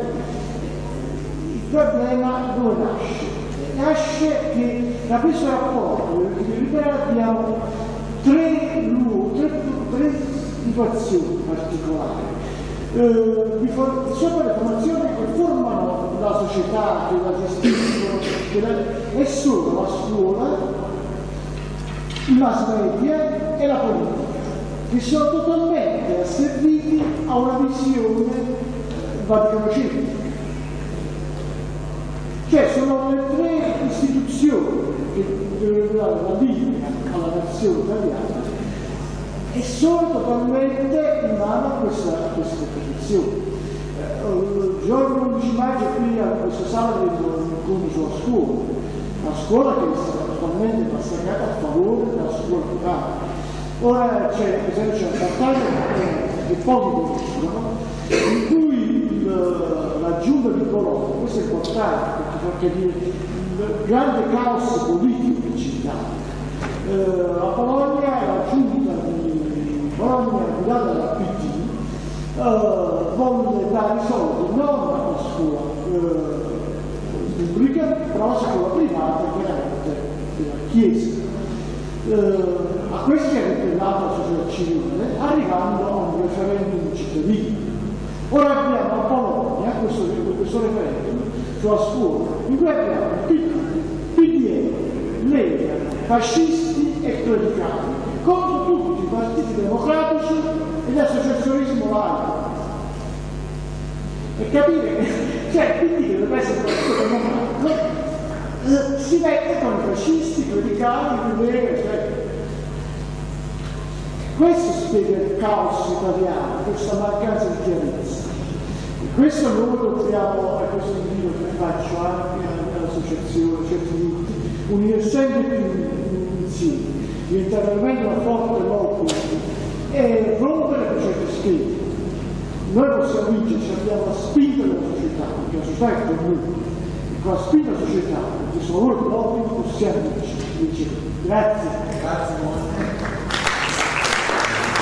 Grazie molto per il tuo intervento. E allora passiamo alla prima delle tavole che abbiamo ideato. Bruno De Filippi, se vuoi prendere posto al nostro tavolo eh, uno è, eh, oltre che un amico e che ci ha seguito dall'inizio, ha seguito la nostra storia, ci ha accompagnato in questo percorso, è anche l'autore di numerose opere eh, in materie connesse ai diritti delle persone LGBT e in generale delle famiglie, in particolare è l'autore un progetto articolato di riforma dei diritti di famiglia che noi consideriamo un po' un nostro punto di riferimento in questo ambito, cioè non un po' eh, è stata un'azione che ci è stata molto, eh, eh, che, abbiamo, che ci hanno visti molto impegnati nella nostra legislatura, i deputati radicali, in particolare il deputato Riccardo Bernardini che si è stato poi eh, testimone di questa iniziativa e della presentata al Parlamento per incominciare a lavorare parlamentare su queste temi. Però non la voglio fare lunga, subito la parola a Bruno che ci introduce questa tavola rotonda a cui chiameremo a parlare con i sindaci stranieri e poi parleremo con i deputati e i senatori presenti. Grazie Bruno. Buongiorno. La vicenda eh, del matrimonio tra le persone dello stesso sesso nasce da una lacuna che esiste nell'ordinamento del codice civile, cioè dal fatto che nel codice civile, che pure per tanti aspetti è così minuzioso e preciso, non c'è scritto da nessuna parte che perché si possa addivenire a un matrimonio è necessaria la diversità di sesso degli sposi. Questo ha a sua volta un'origine storica, perché il nostro codice in materia di famiglia eh, è stato una, frutto di una serie di tagli e incolla, direi io, secondo un linguaggio moderno. Il codice eh, attuale eh, deriva da quello precedente, che a sua volta deriva da quello del 1865, a sua volta da quello preunitario, napoleonico, si va sempre più indietro, fino al diritto eh, che venne fuori subito dopo la, il periodo romano. E per quanto riguarda il diritto di famiglia, tutto fu delegato al codice canonico le norme del diritto di famiglia, le norme matrimoniali furono prese da lì. Ora nel codice canonico non si dice da nessuna parte che è necessaria la diversità di sesso degli sposi perché era assurdo anche solo ipotizzare una cosa del genere. Negare la possibilità di cui a due persone dello stesso sesso di convolare un nozze Ecco, sarebbe stata una implicita ammissione della teorica possibilità e quindi non si dovrebbe. Per cui noi abbiamo ereditato tutte queste norme e ci siamo trovati di fronte a un che non dice espressamente una cosa del genere. Allora che cosa,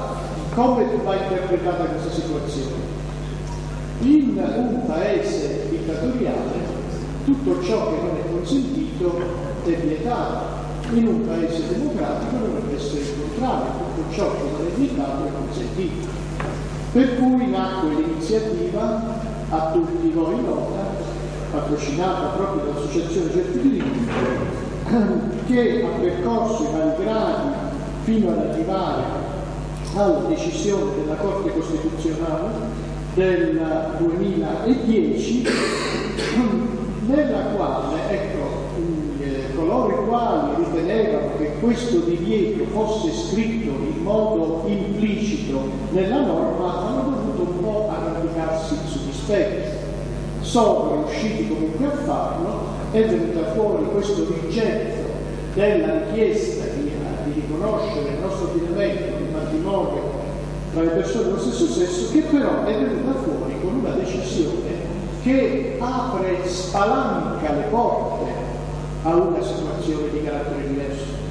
Noi sappiamo che gli interventi della Corte Costituzionale spesso sono stati prodromici rispetto a delle grosse novità legislative, come è avvenuto per il divorzio, come per l'interruzione della gravidanza. In questo caso la Corte Costituzionale ha detto che eh, l'unione omosessuale, quale stabile convivenza tra due persone dello stesso sesso, eh, rientra tra le formazioni sociali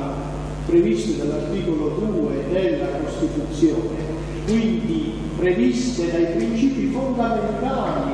della nostra, nostro ordinamento costituzionale. L'articolo 2 si è in tante discussioni, viene prima dell'articolo 29, articolo 3, gli articoli che poi nella Costituzione regolano il matrimonio e anche la storicizzazione del matrimonio. E la Corte Costituzionale ha detto che l'unione omosessuale, eh, omosessuale spetta il diritto fondamentale di vivere liberamente una condizione di coppia e di ottenere il riconoscimento. Quindi questo non è più qualcosa che è un'opinione, una tesi, è qualcosa che ha detto la Corte Costituzionale, la quale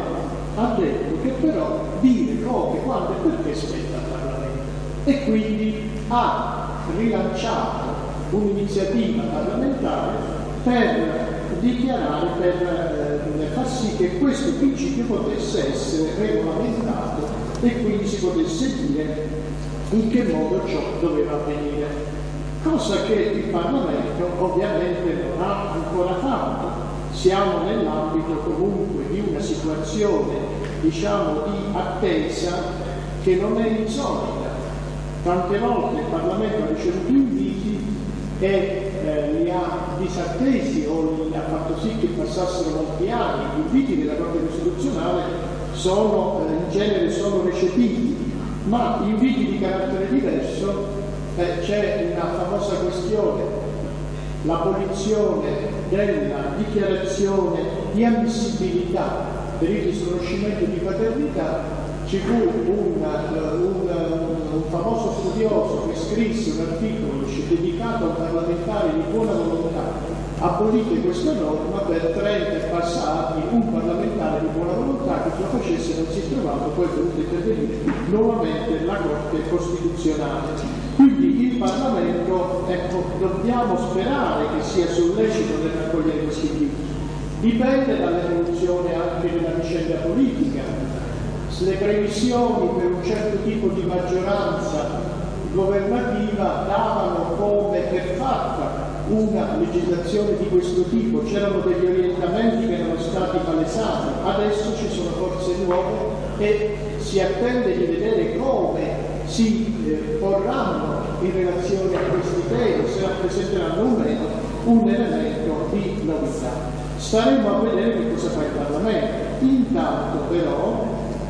abbiamo un punto di riferimento, un punto di riferimento che veniva già citato prima punto ed è il disegno di legge numero 2263 della sedicesima legislatura, in cui è stata proposta è una integrale riscrittura, modifica del libro primo del codice civile. Questo progetto è un progetto molto voluminoso, tanto è vero che quando si trattò di presentarlo in eh, Parlamento dagli organi tecnici a ciò deputati furono fatte una serie di difficoltà perché era troppo grande, perché cambiava troppo, bisognava presentare per singoli codici, non erano nemmeno preparati a facendo, ma è un testo base che a mio giudizio in futuro sarà ripreso proprio perché ha precorso i termini e ha indicato tutta una serie di modifiche che devono avvenire per modernizzare il nostro diritto di famiglia. Io credo che sarebbe opportuno che, che questo testo venisse ripreso, riletto e magari ripresentato in Parlamento da forze politiche parlamentari che lo condividano. Che cosa dice questo progetto? Ora, noi siamo partiti dal matrimonio tra le persone dello stesso sesso, che è una, un elemento molto importante. Eh, a mio personale giudizio è il, eh, il termometro del eh, grado di progressismo, democraticità di una persona nel senso che chi è disposto a riconoscere agli altri gli stessi diritti è una persona che si pone sul piano della democrazia e del progressismo. Chi si oppone si pone, si colloca su un altro versante. Ma questo, eh, questo argomento, pur essendo importante e simbolico, non è certamente l'unico. La proposta di legge 2263 ne contiene una serie atti e il diritto definimmo all'epoca come il diritto dei soldi, il diritto che la gente di questa epoca vorrebbe se non fosse vincolata a un diritto tradizionale che ci è stato tramandato, il diritto che faremmo se lo scrivessimo adesso. E non è qualcosa che eh, stia passando sotto silenzio, anche se non ha avuto l'attenzione dei media o, o l'approvazione parlamentare noi abbiamo avuto alla fine del, 2012 una importante approvazione parlamentare in, sede di, in, di diritto di famiglia. È stata approvata la legge 219 che eh,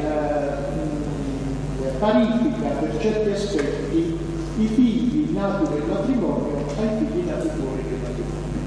Questa legge deve essere ancora completata attraverso una serie di decreti attuativi che il nuovo governo è stato chiamato a fare. Ora, io sono sicuro di non dare una lettura partigiana di questa 219 dicendo che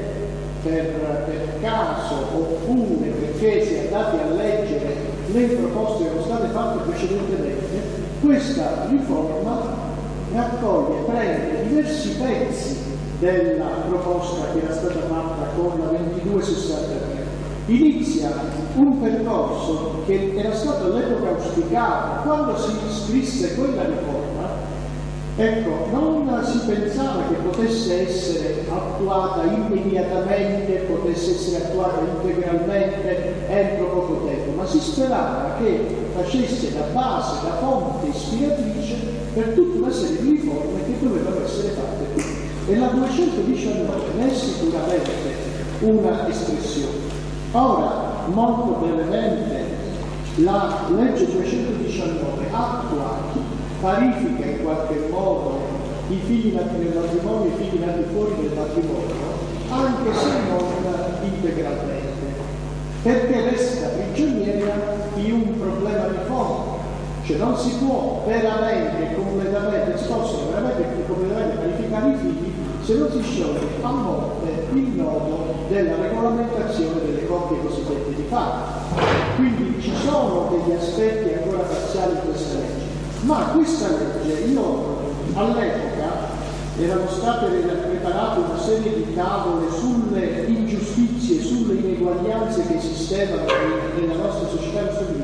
ho visto che questa legge corregge o ne elimina almeno quattro di quelle che noi avevamo indicato. All'epoca si era detto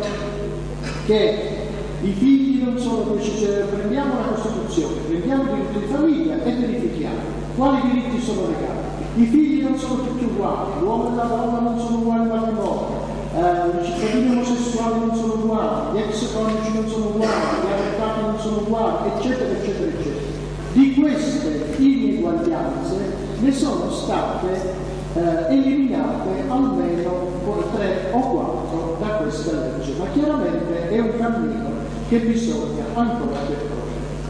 Allora il mio eh, suggerimento, il mio auspicio anche per l'incontro di oggi è quello di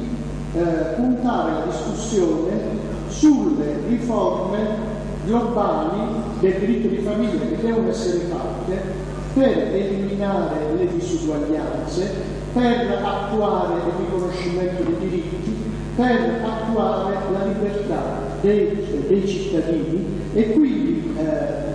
demolire quell'istituto tradizionale che tutto ciò negava.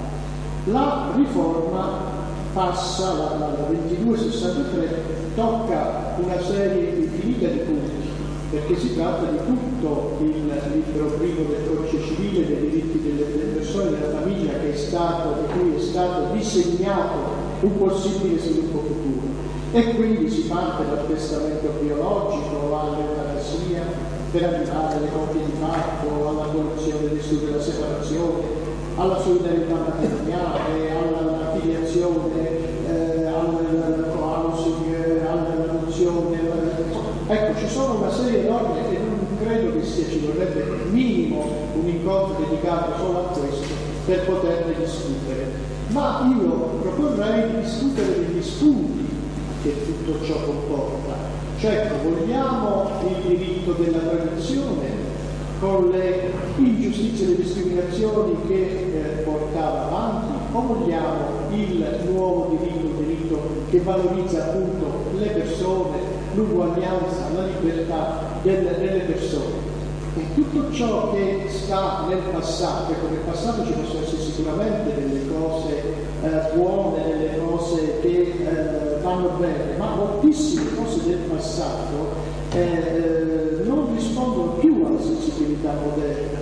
Eh, gli, eh, gli esempi potrebbero essere infiniti. Ecco, nel passato prendiamo le legislazioni del passato che consentivano ai bambini di 8 anni, di 10 anni di lavorare in miniera, la tutela che mancava, la tutela della salute, la tutela eh, dei, dei, dei, minori, la, la, la tutela della posizione della donna del matrimonio, sono tante cose che sono state superate dalla sensibilità moderna. Allora si vuole il diritto del passato della tradizione o un diritto moderno? Ci vuole un diritto italiano o un diritto europeo? E tante volte nel corso di discussioni, anche ma non solo referendarie, si dice l'Italia è come Costa Rica, l'unica al mondo, oggi è stato detto come l'Alabama, eccetera, eccetera. Cioè, sicuramente l'Italia ha un diritto che si discosta dal diritto europeo per tutti questi aspetti relativi eh, ai diritti delle persone della famiglia. Allora vogliamo un diritto tradizionale o progressista, vogliamo un diritto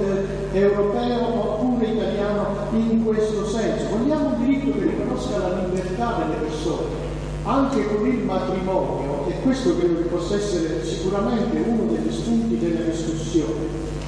E magari eh, su questo per adesso posso fermarmi, poi riservarmi di eh, reintervenire. Ecco, il matrimonio corrisponde, come adesso, corrisponde agli schemi del passato. Non solo per le discriminazioni che comporta e di cui eh, stiamo, stiamo eh, parlando, ma anche perché non dà alternative. In passato, ecco, in passato c'erano degli schemi molto rigidi, molto, molto fissi, molto chiusi,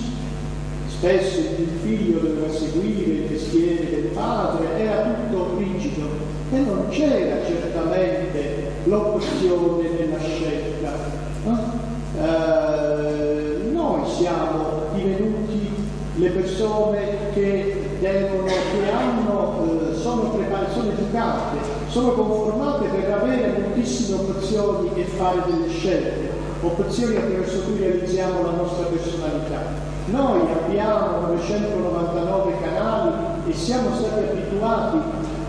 più che dalle regole della democrazia, da quelli del consumo, ad avere tante opzioni di scelta. Il patrimonio, così come adesso è congegnato, è una, un pacchetto assolutamente chiuso. Si deve attuare quel modello o niente, o ti sposi con quelle condizioni o no. Altri paesi hanno eh, ma, certamente maggiore libertà, ad esempio quelle di stipulare le convenzioni patrimoniali. Noi non abbiamo nemmeno quello. Se ci si vuole mettere d'accordo, ad esempio, che cosa può succedere quando una unione debba finire, noi in Italia è vietato, come vietato modificare qualunque tipo di diritto che esiste, che è previsto, diritto dovere previsto nel patrimonio. Ebbene, è assurdo ipotizzare un matrimonio con maggiori margini di libertà, con la possibilità di scegliere, con la possibilità di stabilire, dico io, eh, accetto il matrimonio ma per quanto riguarda le norme sulla successione, sulla legittima, eh, sul, eh, sul, sugli doveri che esistono, sulla possibilità di, di quello che succede alla fine, ecco, applicare una serie, un regime di possibilità di scelta che è un po' il simbolo di tutto il progetto di riforma, non solo la eh, solo i diritti l'uguaglianza, ma anche la libertà, far crescere la persona con possibilità di scegliere, quindi avere un modello di matrimonio che possa modificarsi e adattarsi maggiormente ai tempi. Forse se si facesse una cosa del genere, si desse un modello unico, applicibile da tutti, ma elastico e che possa venire incontro alle esigenze delle persone,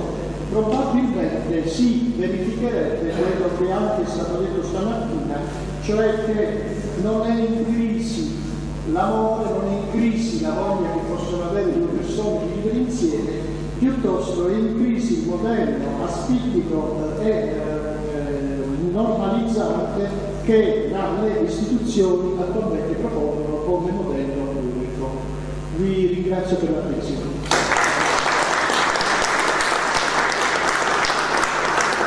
Grazie Bruno perché sei stato anche molto sintetico che molto preciso rispetto alle questioni che sono sul tappeto. Eh, prima di continuare voglio dare due buone notizie, la prima che c'è la Filomena Gallo, la ringrazio per essere qui, Filomena è la segretaria nazionale della Commissione Luca Coscioni e che si è iscritto all'Associazione delle Carte Attiviti Fabio Romani, presidente di Arcigay, questo ci, consente di dirvi che le iscrizioni sono sempre aperte e iper benvenute, quindi chi si vuole iscrivere o rinnovare l'iscrizione lo può fare direttamente via congresso o online. Allora, io comincerei allora con gli interventi che avevamo predisposto, chiederei però oh, una cosa, adesso vi dico una cosa un po' così, ma questa, questa cosa della porte uno in fila all'altro mi dà una sensazione di, di tale libertà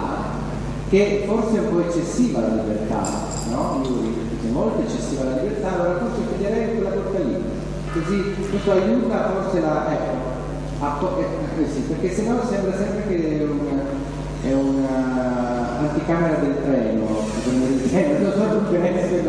e non un luogo dove ci possiamo un po' concentrare su questioni che sono molto complesse e anche molto importanti secondo me. Eh, inviterei Joel a prendere la parola, grazie Joel.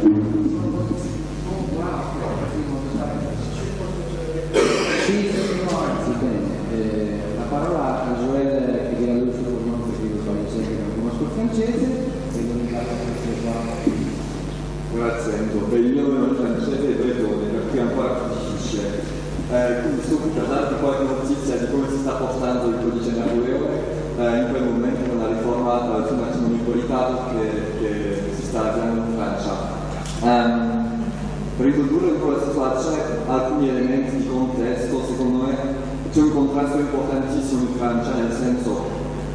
logicamente era il paese ideale per fare questa riforma in modo facile. Abbiamo un'opinione pubblica che è favorevole al 60-65%, abbiamo, eh, abbiamo i Vax eh, approvati nel 99 che hanno fatto cadere il tabù, che hanno creato varie forme di, eh, di coppie eh, per tutti, anche per gli eterosessuali,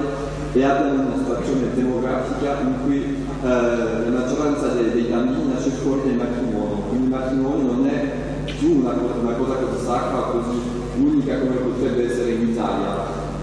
Però di fronte a questo abbiamo anche una mobilitazione fortissima del, eh, diciamo, dei conservatori, di chi si oppone a questa riforma e vi posso dare due esempi. Uh, il primo è uh, la, la, raccolta e monitoraggio dell'omofobia che fa uh, l'associazione SOS Omofobia, che è l'associazione maggiore più grande che si occupa dell'omofobia in Francia, e dal mese di novembre, da quando si è aperto il dibattito sul matrimonio in Parlamento, il numero di denunce di casi di omofobia è raddoppiato. raddoppiato. L'altra cosa è, l'altro esempio è giovedì questa settimana c'è stata una manifestazione alle 6 di mattina di fronte al, uh, non di fronte alla sede del Partito Socialista o di Partito di Governo, di fronte al domicilio privato di, uh, di una senatore, il francese consigliere femminile per le ministre, le senatrici e tutto, tutti i titoli ufficiali. C'è stata una, una, una dimostrazione, una manifestazione ostile di fronte a, alle, alle, finestre della senatrice. Eh, sì, alle 6 di, di mattina Um, beh, questi cattolici fondamentali sono un po'... Si spiega Esattamente. No, ma cosa interessante è questa senatrice è una senatrice um, di destra, di centrodestra, che è una delle poche che, che voterà positivamente uh, su quel testo. Uh, è una, è un'antica ministra di, uh, di Sarkozy, uh, Chantal Joanot, a Parigi, e questa amministrazione sarà abbastanza violente. Um, nel senso che si ritava il nome dei figli, io non so neanche se i suoi figli sono gay o se, o se figlie lesbiche, però c'era un livello di violenza eh, molto, molto importante per una riforma che potrebbe essere accettata con più, più consensi in quel, quel, paese. Allora vorrei vedere un po', ehm, spiegare un po' quali sono i fattori di parziale successo, perché questa legge probabilmente sarà approvata alla fine ma anche i fattori che hanno reso questa situazione un po' più difficile per poter farne eh, qualche, qualche avviso forse eh, per i miei amici italiani. Allora, fattori di successo. Il primo fattore di successo, secondo me, sarebbe semplicemente che da, da, dall'epoca dei fax alla fine degli anni 90 gli eh, attivisti LGBT hanno avuto tempo per, eh, per lavorare eh, con almeno uno dei due schieramenti del, della politica francese, la sinistra e il centro-sinistra. Voi lo sapete, abbiamo un sistema molto bipolare in Francia e eh, usciamo, usciamo, appena di un periodo in cui uno dei, dei, uno, uno dei schieramenti è rimasto dieci anni nell'opposizione eh, ed era lo schieramento più favorevole perché già era quello che aveva approvato il, il taxa. Quindi in quei dieci anni c'è stato tempo per gli attivisti di tentare di avere un governo di eh, Chirac e Sarkozy, è stato abbastanza difficile, però c'è anche stato tempo di parlare con chi aveva votato il Fax e con la nuova generazione che c'era in quei partiti per eh, far emergere una specie di consenso sul matrimonio e anche sull'adozione. Questo è stato fatto abbastanza, in modo abbastanza efficace. Eh, il primo partito eh, ad approvare queste, queste, queste, posizioni sono stati i Verdi nel 2002, poi, eh, poi i comunisti e i socialisti nel 2005. Quindi abbiamo una situazione in cui già dall'elezione presidenziale precedente del 2007 si sa che questo fa parte del patrimonio ideologico del, della sinistra e del centro-sinistra francese e anche del partito radicale è un partito un po' più piccolo in Francia. E questo è il primo punto. Eh, il secondo punto è che, è che questo è che nella, nella, nuova generazione di, dei leader del centro-sinistra francese c'è chi ha vissuto eh, il dibattito del Vax, dei Vax ehm, un po' da, da deputato di base. E per esempio, cioè lui non era base, ma il primo ministro attuale era il leader del gruppo socialista quando c'è stata questa vicenda del voto fallito su, sui Vax nel 1998. E quindi lui eh, ha questa, questa esperienza eh, di eh, un dibattito difficile, ma anche un dibattito che si è tornato appunto perché è si è tornato una cosa di una parte dell'identità del suo partito e quindi eh, è un punto abbastanza importante politicamente. L'altra cosa è questa idea di un matrimonio più, ehm, più universale ehm, incontra un po' eh, le, le identità fondamentali del centro-sinistra francese, che sia radicale, socialista, comunista e anche di una parte del centro ehm, del, del, del, spettro politico. Eh, se, se avete qualcuno di voi ha sentito il discorso che ha fatto il ministro della giustizia per Christian Taubira quando si è aperto il, il ah, benissimo, allora per, per chi parla francese è un discorso che, ehm, che ci, ci, da, ci, ci, spiega un po' come questa necessità di universalità da parte della cultura politica di una parte della classe politica francese, nel senso la prima metà del discorso, esattamente una metà del discorso, 14 minuti, è la storia del matrimonio dalla rivoluzione francese in poi e la seconda metà, 14 minuti, sull'idea di universalità e di uguaglianza. È un discorso abbastanza forte, perché lei si dire che quel, quel ministro è, è chi parla meglio il francese, tipo oralmente eh, il Parlamento in Francia in quel momento, lei è, è, è davvero brava anche se dieci anni fa non era convinta del tutto, però adesso che è convinta è parla. Quindi, ehm, dopo di quei dieci anni in cui la sinistra eh, era all'opposizione, è arrivata a, vedere con un programma molto chiaro definito dal, dal Presidente Hollande. Questo sarà, sarebbe anche per le associazioni LGBT l'agenda da rispettare, nel senso che sono impegni chiari che lui ha una maggioranza in Parlamento e che logicamente nulla si potrebbe opporre a, al, al compimento di. Quel programma include il matrimonio, l'adozione, però anche eh, la procreazione medicalmente assistita, più riforme del, uh, del Pax e della famiglia, però a quel punto era molto meno definito, molto meno preciso, e poi c'era anche qualcosa che non, eh, che non c'era, o piuttosto qualcosa a, a cui, a, al quale tutta la, tutta la classe politica francese si oppone, che è eh, il tema delle, eh, delle di sostituzione, della, della surrogazione inglese. Questo è un, un, argomento molto polemico eh, in Francia, però anche in Francia, e diciamo che parte del patrimonio del femminismo maggioritario in Francia fare, ehm, questa, questo tema. Quindi c'è un'agenda chiara per eh, sì, la surrogata. Sì. Quindi questa agenda che le, associazioni eh, hanno percorsi in 5 anni, ehm, cioè hanno posizioni diverse anche su quel tema, però per i prossimi 5 anni si sa che si avanzerà soltanto sul matrimonio, sull'adozione, sulla procreazione medicamente assistita, un po' su altre norme della, sulla famiglia e anche sul tema dei, dei diritti trans. Adesso perché, perché invece di, di, poter fare questo facilmente siamo in una situazione di, uh, di, di tensione così elevata? Alcuni fattori secondo me, il primo eh, è legato al fatto, che, al fatto, che, nel nostro sistema politico c'è un presidente che concentra più o meno tutti i poteri,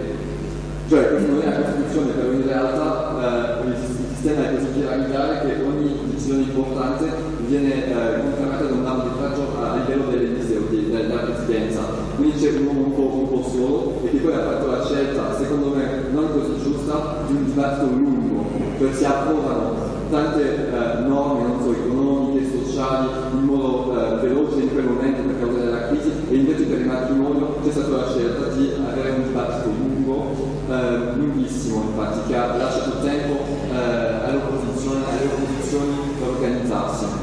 Quindi questo era il primo fattore. Il secondo fattore è il nostro pluralismo politico che ha ehm, aspetti positivi, nel senso che chi è stato eletto eh, a un gruppo parlamentare in cui ci saranno poche dissidenze al momento del voto, però questo risulta anche vero per l'altro schieramento che meccanicamente si oppone. Questo è la logica del sistema francese, perché la destra francese, il centro-destra,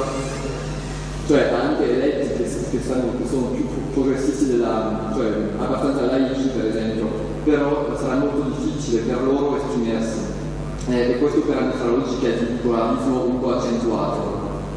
L'altra cosa è che eh, in Francia, cioè la Francia è un paese che molto spesso si autodefinisce il paese dei diritti dell'uomo, però ehm, non è il paese dei diritti umani, secondo me, nel senso che manca un po' come in Italia questa cultura dei diritti come um, cose che dovrebbero essere universali e quindi eh, anche chi ha accettato l'idea del matrimonio o dell'adozione lo vede come eh, una riforma, una riforma importante per non ehm, non lo pone in un quadro um, di interpretazione del mondo politico che, um, che dà una parte a, questa idea di universalismo, cioè è un po' contraddittorio perché um, c'è chi ha, nella maggioranza attuale ci vende questa riforma utilizzando questi argomenti di universalità, però in realtà se si affrontano poi, um, se si affrontano poi altri temi, si vede che eh, l'idea di universalità di i diritti non è ancora saldamente presente nel tratto francese. Eh, poi gli ultimi fattori sono, eh, sono legati a, alle opposizioni conservatrici, eh, nel senso che loro sono stati molto bravi. Eh, 13 anni fa, 14 anni fa sui Pax erano la caricatura di se stessi, invece adesso hanno trovato il modo di comunicare in modo moderno. E, eh, ne do due esempi, due esempi. Il primo è il caso della la, la leader più conosciuta di questa mobilitazione che si, che si chiama, cioè eh, nick è um, Brigitte Bardot, uh, il suo nome è Brigitte Bardot, eh, vi lascio capire il Bardot peraltro ha un senso anche in francese che è più o meno pazzo, quindi è non solo fritte però anche pazza. Ma questo è il nick che ha scelto, il suo nome è Virginie Merkel, non importa molto. La cosa interessante con lei è che lei è una figura di comunicazione modernissima, ha cantato canzoni quasi pornografiche, si veste sempre di rosa e eh, combatte l'idea del matrimonio igualitario, però dà l'impressione di, di tornare nel Pride. E, ehm, è strano che, che, che nella stampa, nei, nei, nei, di comunicazione più, più importanti, nessuno faccia um, faccia articoli o faccia trasmissioni per spiegare qual è il suo passato, chi è realmente questa persona, perché lei viene, ha legami molto, molto forti con la, la destra cattolica e anzi l'estrema destra, lei ha scelto per il suo proprio matrimonio eterosessuale di essere casata, di essere uh, un prete che, che, è l'unico prete in Francia che ha difeso l'uso della tortura in Algeria durante la guerra di indipendenza dell'Algeria. E, e questo si dice pochissimo in Francia però è riuscita a vendere questa immagine molto moderna eh, senza, senza spezzare i legami che ha con, con l'estrema destra sostanzialmente. L'altro argomento che funziona bene, che ci, ci dice eh, un po' come, può, um, come l'opposizione può avere, più, avere più successo che dovrebbe avere, è eh, l'utilizzo un po' come in c'è l'argomento che queste cose vengono del, ehm, del, del, non posso dire dell'Occidente, del caso della Francia, però del, del resto del mondo, in quel caso del, dell'Inghilterra, dell'America che sempre sospetta in Francia, ma che potrebbe essere anche in Italia. E eh, precisamente abbiamo, abbiamo eh, in Francia una specializzazione che è ehm, denunciare il concetto di genere, il gender, come una cosa anglosassone eh, terribile che ci invaderebbe, che sarebbe pericolosa, non si sa bene perché, però principalmente perché è straniera. Io, cioè, quando sento questo, ehm, non solo è, è, è un po' eh, xenofobico, però è anche, ehm, cioè, dico, la, la propria parola gender in inglese viene dal, dal francese medievale eh, genre e dal latino, quindi è una parola nostra, però l'argomento lo dico qui in Italia, eh, dico questo perché è utilizzato eh, a livello nazionale non so, però a livello europeo, in Parlamento europeo, è utilizzato da eh, stati europei italiani esattamente nel modo in cui viene utilizzato in Francia, che dicendo che cioè, loro dicono che il genere, che il genere non esiste, si deve parlare soltanto di sesso e che tutti questi temi che, eh, dei, dei LGBT sono una cosa importata eh, dalla teoria del gender eh, americana. Quindi è una cosa che, cioè, in senso non c'è, però è un argomento che fa paura, eh, significa fa paura anche qui. Quindi preparatevi, è già cominciato. E allora, um, per finire qualche raccomandazione da fare, um, Beh, la prima cosa che già state facendo è il lavoro programmatico, un lavoro programmatico serio, definire proposte. Um, l'altra, l'altra, cosa è che um, quando comincia un dibattito in Parlamento, quando comincia a sapersi che, che ci saranno proposte di legge, proposte di legge um, serie che, che, hanno la possibilità di adottate, c'è chi ci sarà ostile sicuramente, però c'è anche il fatto che ognuno, anche, eh, anche chi ci è più o meno favorevole, chi ci potrebbe essere favorevole, ognuno vorrà dire la sua. E anche chi non, non ci si è preparato benissimo. Quindi il mio eh, consiglio qui sarebbe preparatevi anche scrivendo modelli giuridici di ciò che volete. Scrivendo questi modelli giuridici eh, e consigliandoli con, um, con i politici, tutti i politici, ma anche con la stampa, anche con, uh, altri, giornalisti, con altri attori del dibattito pubblico, perché poi, uh, poi agli, atti potenziali che non si sono preparati possono essere molto uh, controproducenti in realtà. Questo è un consiglio molto, molto importante. poi ne avevo due altri. sì, una cosa abbastanza ovvia, mai fidarsi dell'idea che la storia va sempre nel buon senso eh, del progresso, e questo non, non, è vero e si vede adesso eh, da noi con quei, quegli cattolici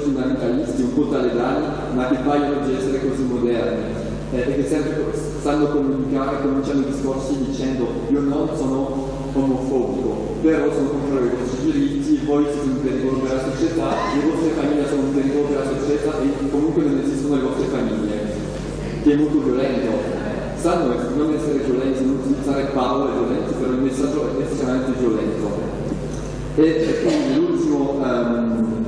l'ultimo consiglio um, era eh, era, ehm, beh, non, non lo ritrovo,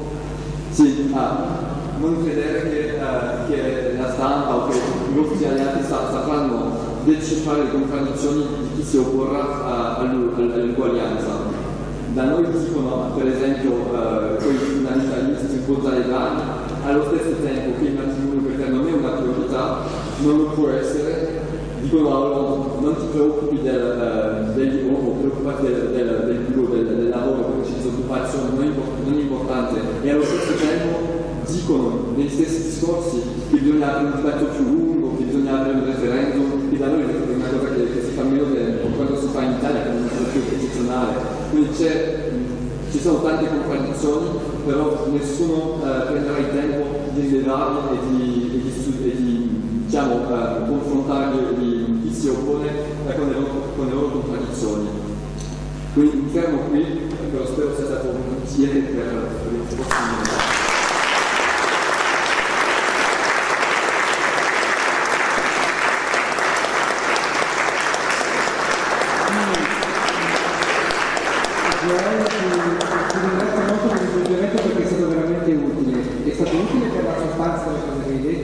ma lo voglio sottolineare solamente per il metodo che gli ha indicato. Quanti di noi, quanti del nostro movimento si sono messi a studiare come gli avversari del matrimonio si stanno organizzando? A parte la distruzione di bimbi graviti che non fa, eh, quella è banale, ma eh, mettersi a studiare che cosa sta succedendo, come si stanno organizzando, che tipo di lobbismo hanno in mente loro eh, e che stanno costruendo e che tipo di lobbismo noi dobbiamo costruire. No? Finalmente, magari sdoganando questa parola che in Italia pare che non si possa proprio usare perché c'è, c'è, chissà perché la nostra cultura anche americana, anche noi, italiani, no? tutto quello che arriva dalla cultura anglosassone è bollato come gli enti, come e invece no, invece no? un lobbismo serio, sano, trasparente è quello che dobbiamo costruire. Quindi a mio avviso io trovo l'intervento di livello molto utile sul piano del metodo perché era quello che, quello che dobbiamo costruire, un, metodo, una strategia, un modo di stare insieme per darci un obiettivo e per tentare di raggiungerlo e per interloquire con i nostri parlamentari come dice lui, no? nel confronto, nel dibattito, ma anche nell'aiuto dei parlamentari perché non è detto che i parlamentari sappiano tutto su questa materia. No? l'abbiamo visto in tante situazioni. Quindi grazie per la Gioele, so che tu ci continuerai a seguire anche nella processo, le vivi e quindi possiamo portare tutti te. Adesso la parola a Adrian, direi così continuiamo il dibattito personale, poi i video li facciamo passare dopo. Adrian 3, grazie per essere qui. Adrian è secondo me un'altra esperienza molto interessante per noi come sapete in Gran Bretagna sta succedendo una cosa che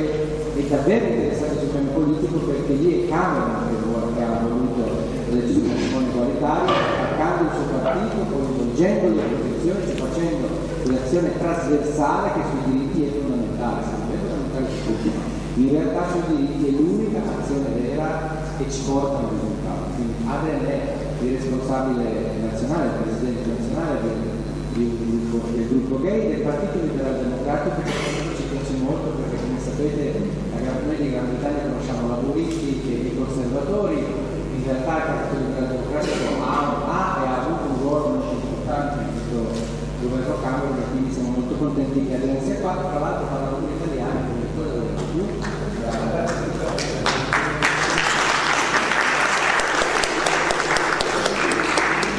Grazie Enzo.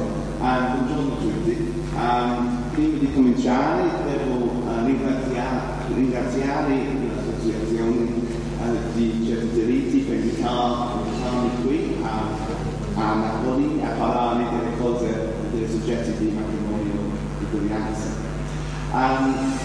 nel 2013 il matrimonio di coglianza è, è divenuto una grande questione politica nel Regno Unito come presidente del gruppo lesbiche, e più uh, del gruppo democratico, noi abbiamo cominciato questa discussione Unito e che per, che per fortuna la situazione delle ultime elezioni hanno risultato uh, nel nostro partito essendo in governo allo stesso tempo, uh, per la prima vista, prima volta nell'ultimo anno. Il nostro viaggio politico ha cominciato nel 2010, dopo la formulazione delle contraddizioni tra il democratico e il conservatore. Il nostro gruppo abbiamo capito che noi avevamo dovuto usare questa opportunità per migliorare e rafforzare la vita delle popolazioni lesbiche, bisessuali e trans. E perciò il nostro gruppo abbiamo scritto un'emozione si chiama uh, Uguali matrimonio nell'Unione Unito uh, per la conferenza federale del Nel settembre uh, 2010. Dunque soltanto cinque mesi dopo il nuovo governo aveva cominciato il potere. C'è una probabilità che questa mozione potrebbe stimolare i movimenti perché anche i nostri colleghi in coalizione, i conservatori, avevano anche cominciato a domandare su questa discussione nel manifesto del 2010 per le ultime elezioni. Comunque, uh, sia tutti, gli attivisti LGBT uh, conoscono che questioni politiche di questo tipo sempre insiste parole e commenti antagonistiche della comunità che senti- sentiamo sotto assidio da nuovi punti di vista e cambiamenti nella società durante gli anni recenti. Dunque, il nostro gruppo ci siamo aspettati una lotta lunga, eh, e particolarmente perché il governo ha deciso di fare una consultazione con tutti i popoli, a ascoltare la persone, e opinioni. Eh, in questa situazione il Regno Unito non è il primo paese di promulgare delle leggi, ma, ma la reazione di certi gruppi sociali, specialmente le chiese dell'Inghilterra, le chiese e gruppi ai diritti delle gambe politiche abbiamo, abbiamo lasciato queste questioni politiche nelle carrozzoni dell'informazione, con tanti commenti e articoli su questo problema. Eh, molti sentimenti che offesi è venuta le spiegazioni sessuali e trans. Nonostante le reazioni, estremi, il nostro governo rimane eh, ha continuato con il processo legisla- legislativo eh, dopo la consultazione e annunciato alla fine del 2012 che il Parlamento, Parlamento metterà a fare la legge. Prima di dire come la situa- situazione a questo momento, ci sono quattro cose che credo è molto importanti. Primo, è si assicurati che c'è sostegno dai partiti politici da ogni parte, perché i diritti fondamentali, fonda- fondamentali non erano una scelta. È la più grande coalizio- coalizione dei partiti in favore dei diritti per le persone lesbiche, gay, bisessuali e trans, è più facile di dimostrarsi la necess- la- la necessità ai elettori. Non ci credo ci sia il governo del Regno Unito oggi da un solo partito avrebbe promuovere i diritti per matrimonio di eguaglianza nello stesso modo e con la stessa motivazione. Secondo, eh, si assicura che la legge e anche nella nostra situazione la nostra mozione alla conferenza è inclusa da tutte le persone nel nostro gruppo con le esigenze da tutti i possibili rapporti. Nel Regno Unito noi avevamo già legiferato per civili, civili rapporti nel 2005 per spiegare che persone. Eh, però molte persone pensavano che queste leggi erano sotto lo stesso stato con il matrimonio eterosessuale. E dunque c'è differenza tra i benefici non soltanto nello stato e nome, ma finanziariamente e eredità. Anche per caso che c'è questi altri paesi nel mondo avevano già istituito i matrimoni per le trans persone, per esempio la Spagna, eh, l'Olanda, l'Argentina, ehm, e dunque queste leggi non erano, non erano compatibili con civili rapporti, con, con questa formazione. E terzo, per me c'è soprattutto una sola scelta. Ciascuno potrebbe scegliere le loro scelte come festeggiare e definire le loro rapporti. Ciascuno potrebbe amare come e chi, senza dare loro il genere o lo Stato, la Chiesa, Chiesa dettano quale è accettabile nel questo secolo. E finalmente su questo punto, noi tempi recenti la società è in processo di cambiamento. E questi paesi che sono all'avanguardia di libertà dovevamo aiutare questi paesi che sono indietro, particolarmente dove c'è un sostegno estremo per conservare, conservare le preoccupazioni religiose a danno delle persone lesbiche, gay, bisessuali e trans. E una cosa che è fondamentale della libertà, di libertà e di diritti dell'uomo. Eh, tutti i paesi moderni devono, devono avanzare i diritti di tutte le persone attraverso il mondo. Dunque, dunque alla situazione, la situazione nel Regno Unito eh, adesso. Da gennaio, eh, do- dopo l'annuncio delle proposte per la legge, eh, si chiama il stesso stesso sesto progetto di, di legge e ci sono ragioni per questo titolo per dire dopo. Um, same sex. differente di uh, um, ma la campagna per, per matrimonio di ha concentrato su parti politici e come andranno a votare nella seconda lettura progetti di legge. Nel febbraio 5 2013 il voto sulla seconda lettura è risultato nel favore di 400 persone contro 175, dunque una maggioranza di 225 persone. Il voto sul principio delle leggi è un buon risultato. Tuttavia,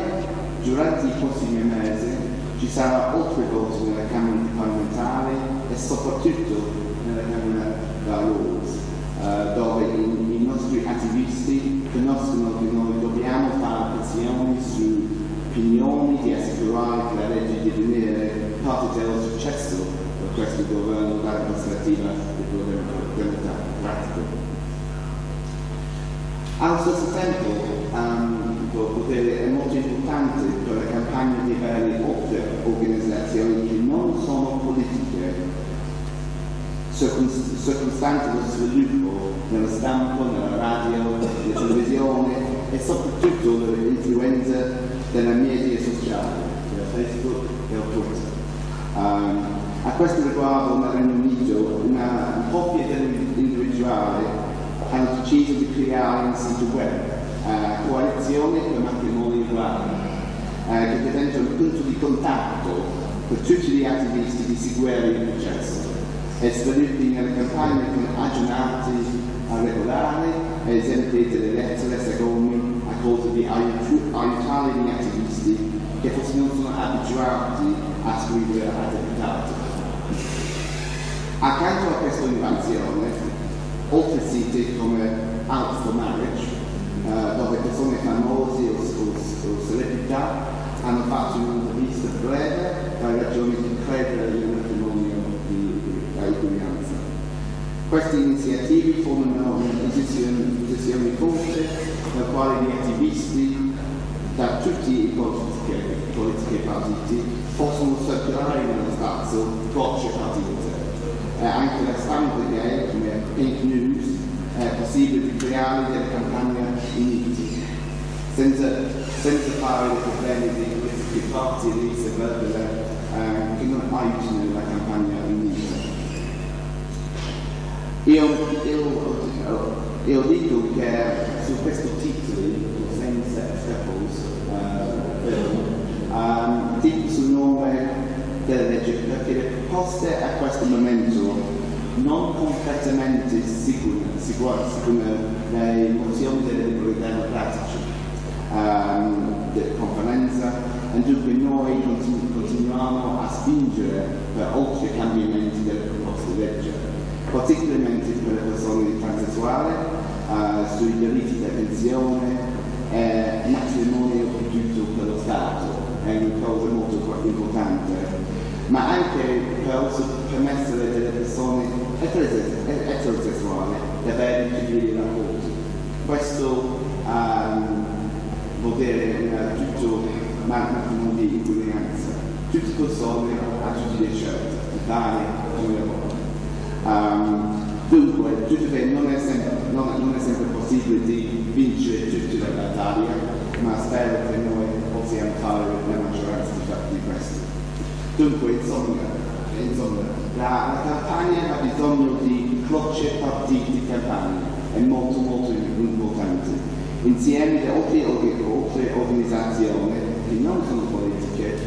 eh, che promuovono il messaggio di matrimonio di eguaglianza. Grazie.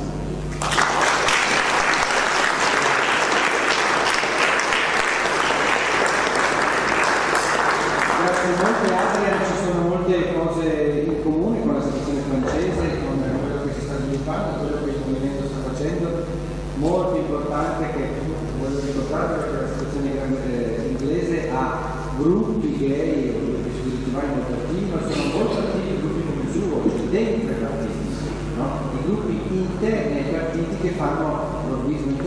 ¿okay?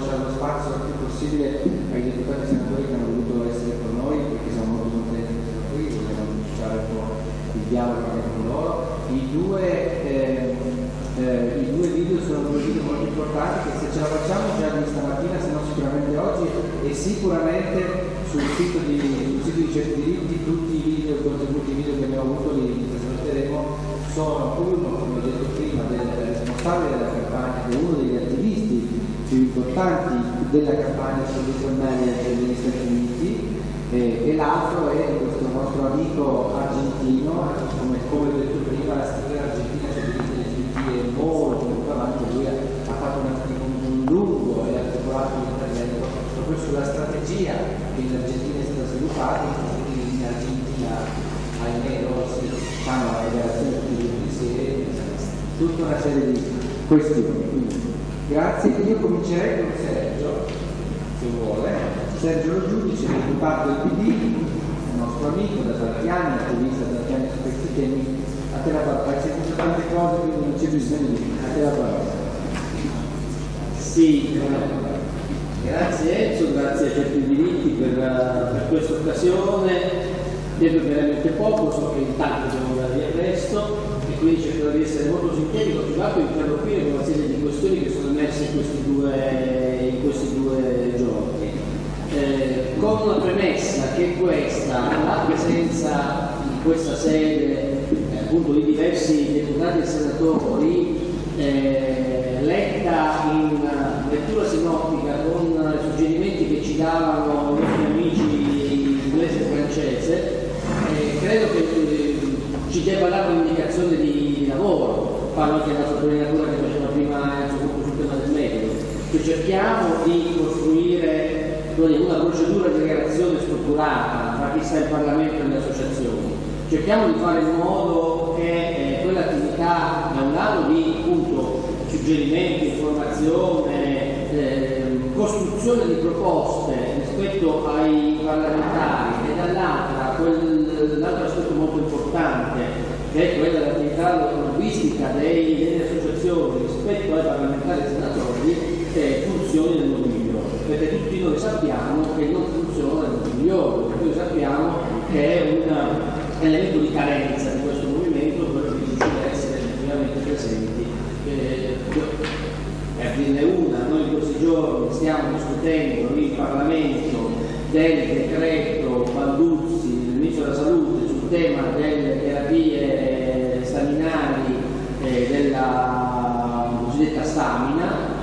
Ebbene, noi siamo arrivati a approvare, a, a, votare in Parlamento sull'onda di centinaia e centinaia di mail che arriveranno tutti i giorni e che quindi hanno in qualche modo so, condizionato in un senso o nell'altro anche le decisioni che sono state prese. Se non fosse altro per la, la percezione di un movimento sociale effettivo che su quel tema era forte. Quindi attenzione a non perdere occasioni di questo genere.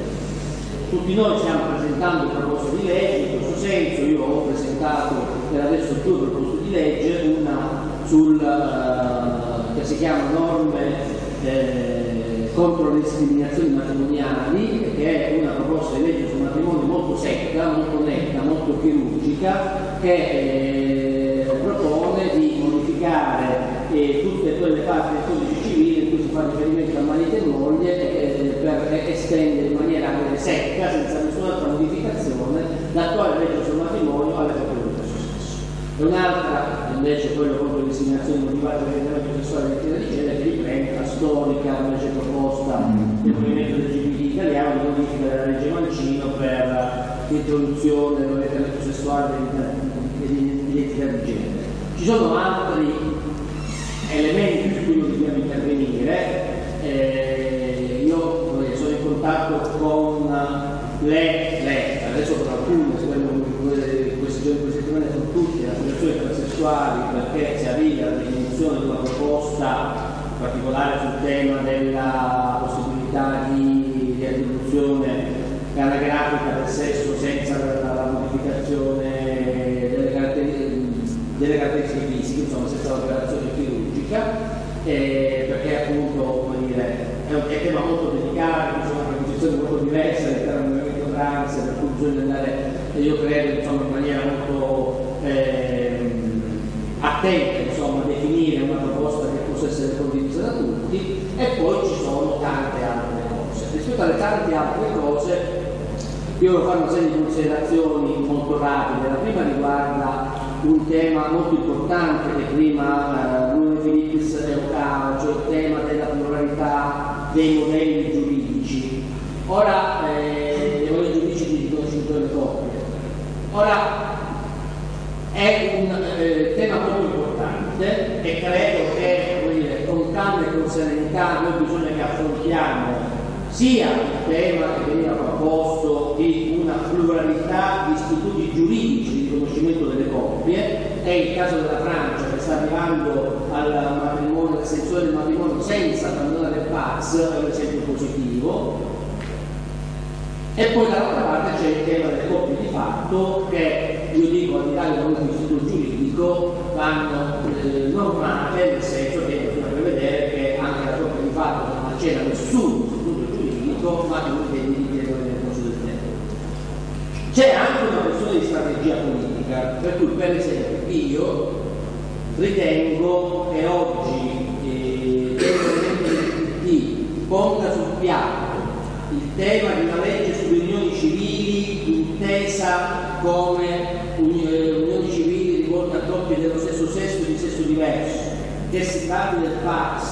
tratti di altre proposte, oggi sarebbe dal punto di vista comunicativo controproducente. Perché noi abbiamo da reimpostare, e non è facile, e non diamo niente per scontato su questo, una comunicazione dei nostri obiettivi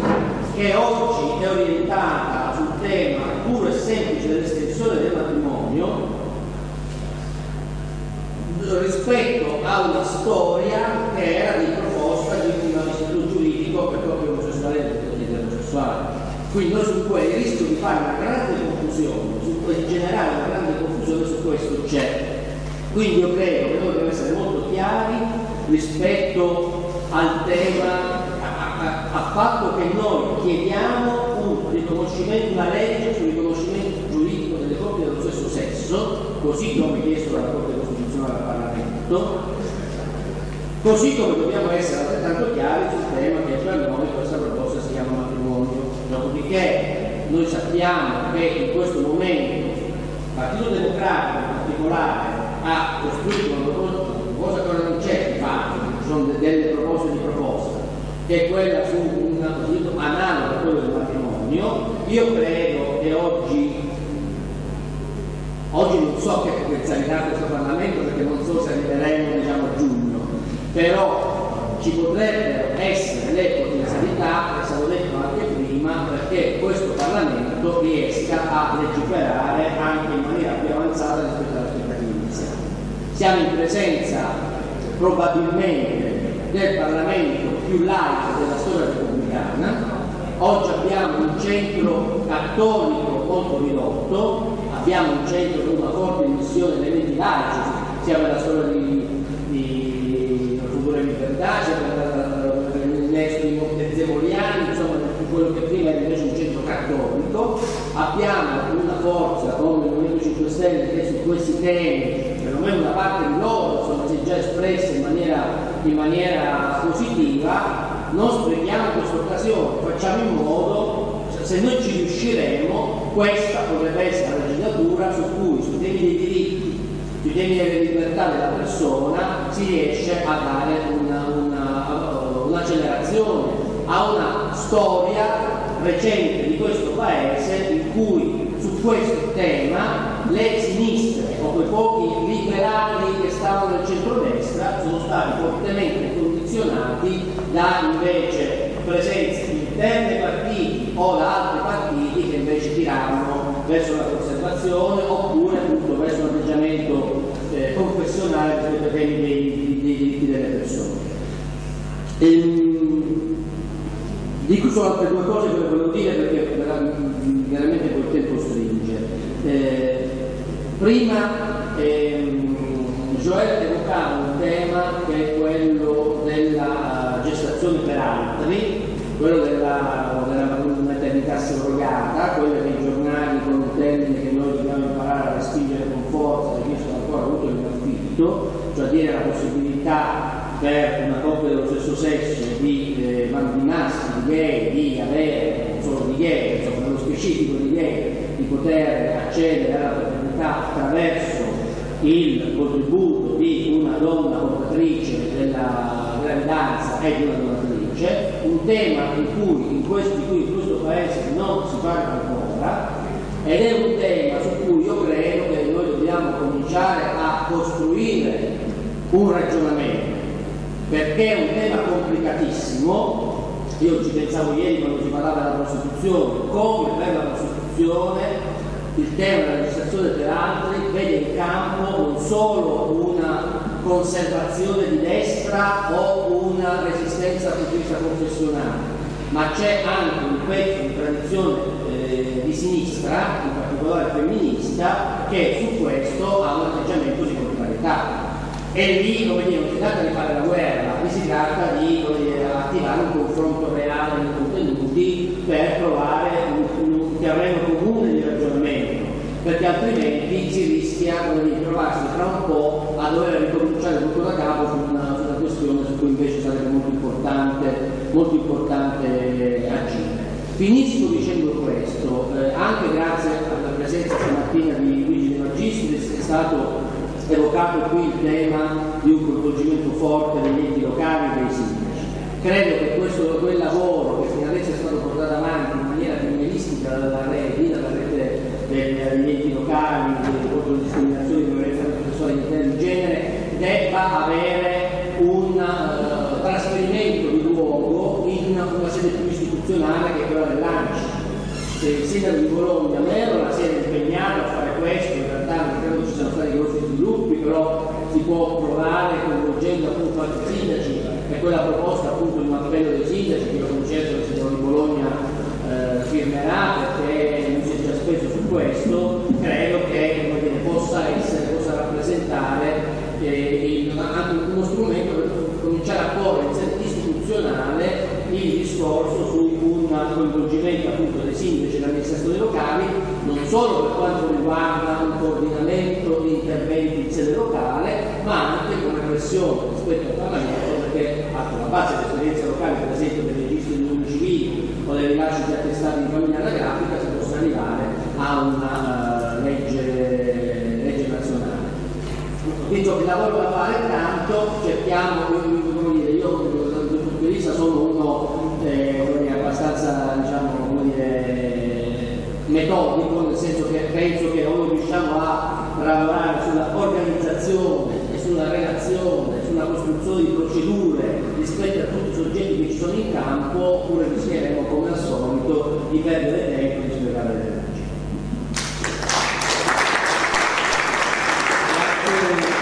moltissimo, non faccio nessun commento perché vorrei che tutti i deputati e senatori presenti si ascoltassero perché molti devono andare via, quindi entro un quarto, un mezzo devo chiudere qui, poi i commenti nostri li facciamo dopo, tanto non ve lo parliamo. Il senatore Dell'Italiano, benvenuto e grazie.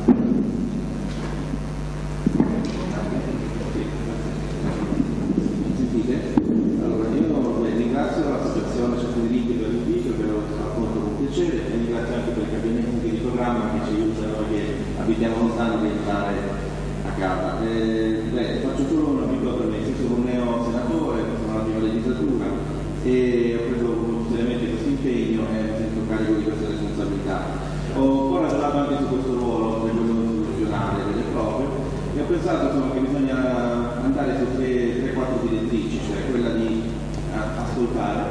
di comunicare quello che si fa e anche di fare. Sicuramente sono questi temi, questi tre punti che vorrei tenere sempre come linea eh, della mia attività. Eh, quindi credo soprattutto che da parte di tutti, soprattutto forse dei parlamentari del passato, la mia percezione da, da, da persona, da cittadino comune, quella che forse la parte di ascolto è quella che non fa ascolto dei cittadini direttamente, ascolto delle associazioni che comunque rappresentano i cittadini. E quindi su questo tema e anche in questa occasione ho preso anche molti appunti per gli interventi delle persone prima di me, vorrei fare qualche commento. E comunque vorrei però partire sul, sul, sul fare. Io in campagna elettorale ho fatto delle promesse, però per me non erano erano dei veri impegni. E quindi appena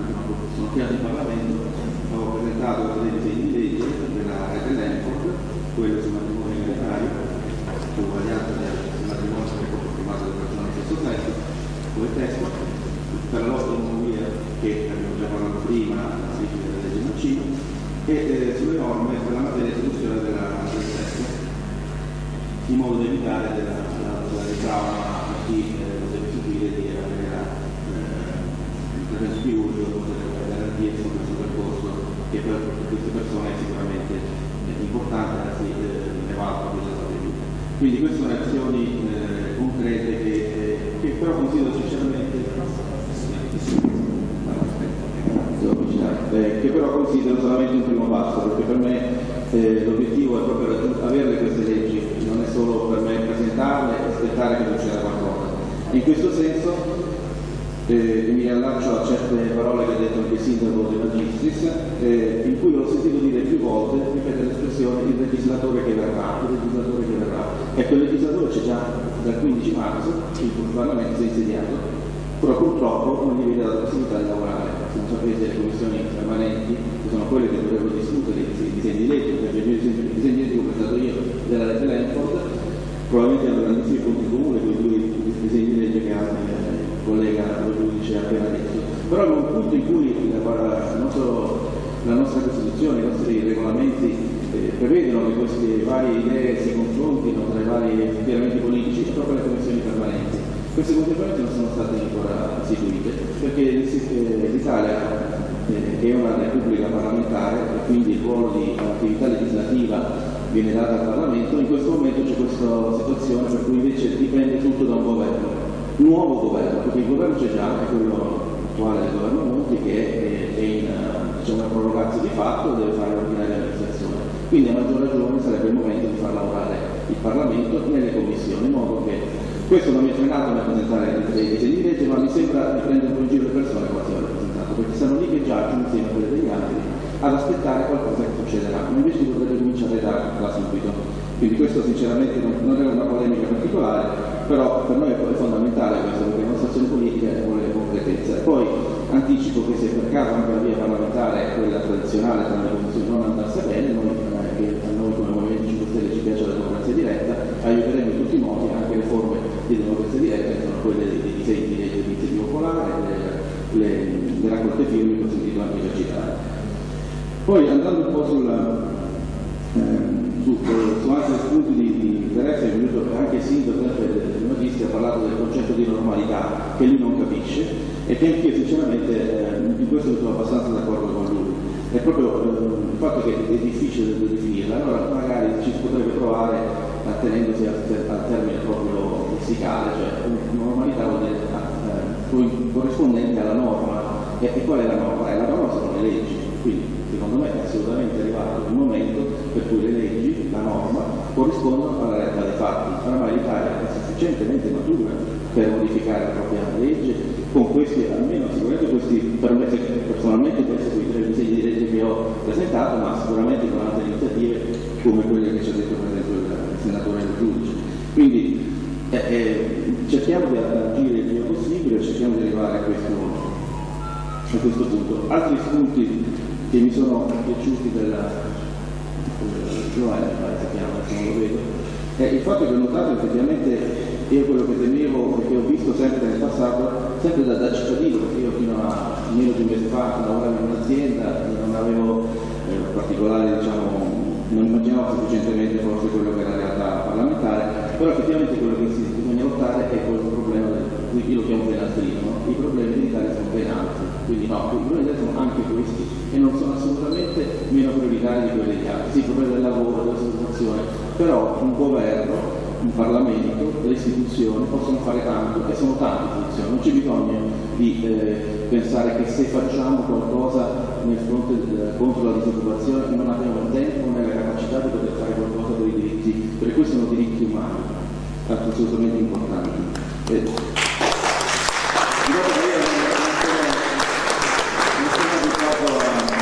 a, a, a, parlare in pubblico, però io eh, perché volevo anche parlare un po' di discorso culturale. Secondo me questo assolutamente bisogna mantenerlo sempre, c'è la norma, il Parlamento, tutti devono agire, però la, cultura italiana deve continuare a fare passi avanti, non si può pensare che sia sempre solamente il legislativo a, a, a portare avanti. Io faccio un esempio, io lavoro, lavoravo in un'aspettativa per una grossa azienda con più di 1500 persone in Italia, in tre sedi, Milano, Palermo Roma, e quello che ho notato e ho verificato chiedendo altre persone che su 1500 persone non è nessuno che conosco nessun collega che abbia dichiarato di essere o lesbico o omosessuale. È impossibile, statisticamente è impossibile su 1500. Quindi ci sono tante persone che stanno nascondendo la loro eh, condizione e questo è un problema culturale che l'Italia deve assolutamente superare. Su questo bisogna lavorarci tutti, tutta, tutta la società civile, diciamo. quindi le associazioni assolutamente le invito a continuare, che io sosterrò come, come forma perché è quella che eh, sicuramente ci, ci, ci dà eh, un risultato eh, in, diciamo, nel, nel lungo periodo. Quindi vabbè, io in conclusione insomma, ribadisco il mio impegno di campagna elettorale che ho già agito ma che sicuramente continuerà e accolgo assolutamente l'invito dei colleghi anche a, a, qualche forma di coordinamento sia tra noi parlamentari ma anche con le associazioni. Grazie.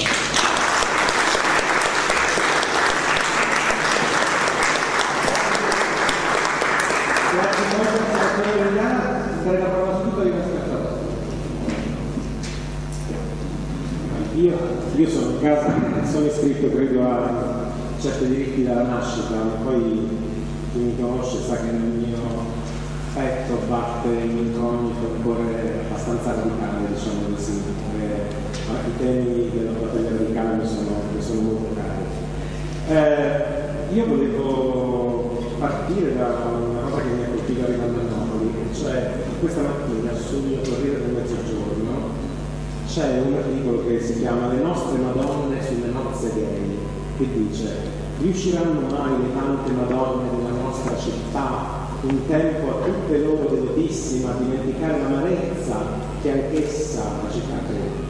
Sta loro procurando un corso di tanti onesti e virtuosi rappresentanti al furioso attacco sferrato oggi nel mondo contro la sacra comunità c'è una specie di polpettone sulle Madonne napoletane che sono lacrimevoli a causa del fatto che noi parliamo della famiglia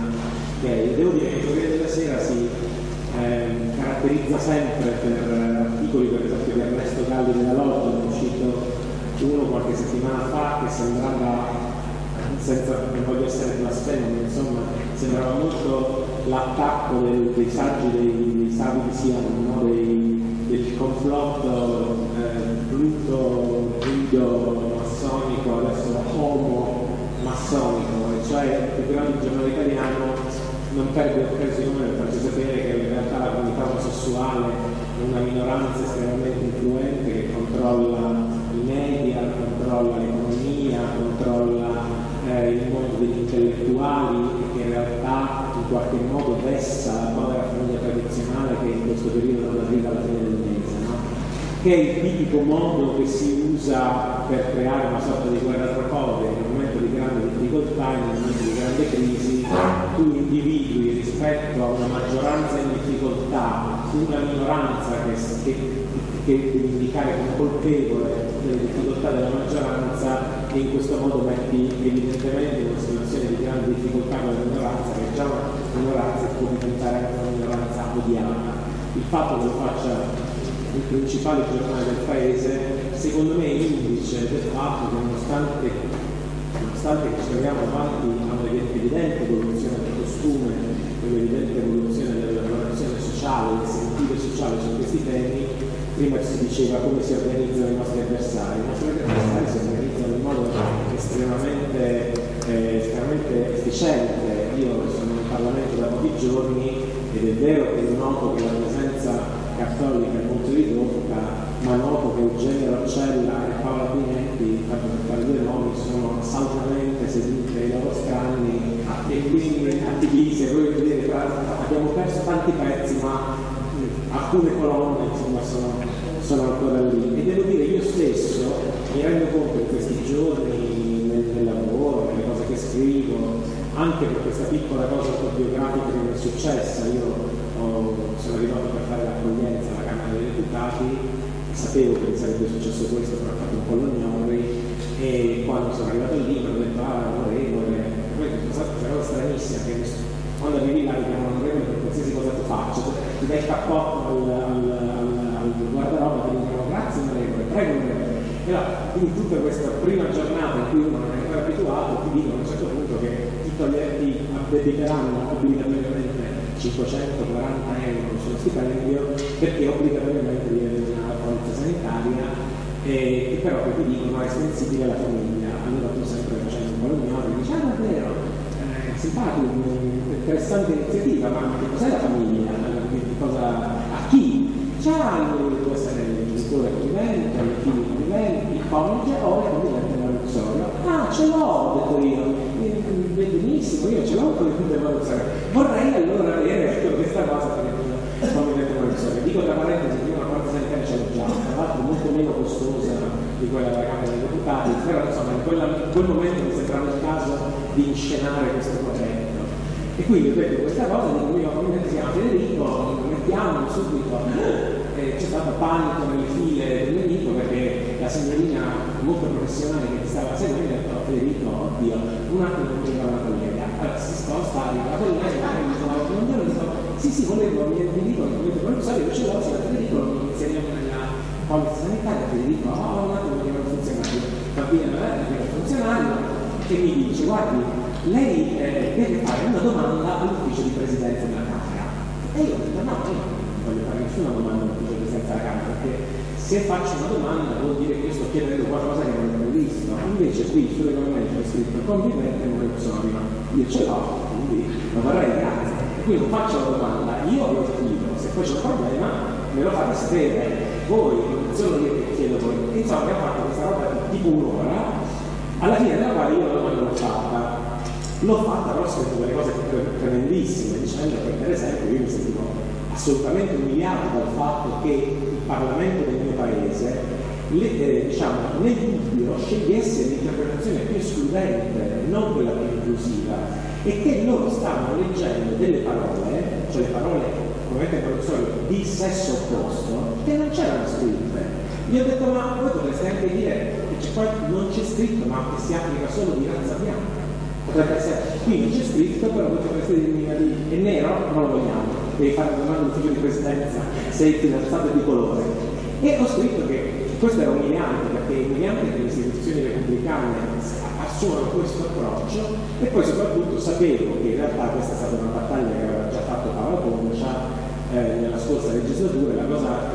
assolutamente imbarazzante è che l'ufficio di presidenza della Camera nella scorsa legislatura non ha mai risposto cioè si riunivano, non curavano il caso e poi hanno detto, oh boh, sono state sciolte le Camere, quindi questa cosa non si sa.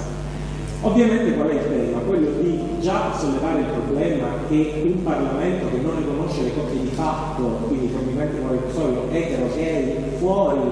li riconosce per sé. Questo è già strano. E poi la cosa ancora più strana evidentemente è che, no, che, che faccio la differenza sull'orientamento sessuale chiaro quale vuole essere il mio tentativo, quello di avere una eh, risposta formale dall'ufficio di presenza della Camera, che oggi è che evidentemente il Parlamento ha un'altra composizione, c'è Di Maio, c'è Giachetti che è un altro vicepresidente, anche lui radicale, del Partito Democratico, per cui mi aspetto di poter avere una specie di puntello perché se l'ufficio di presidenza mi dirà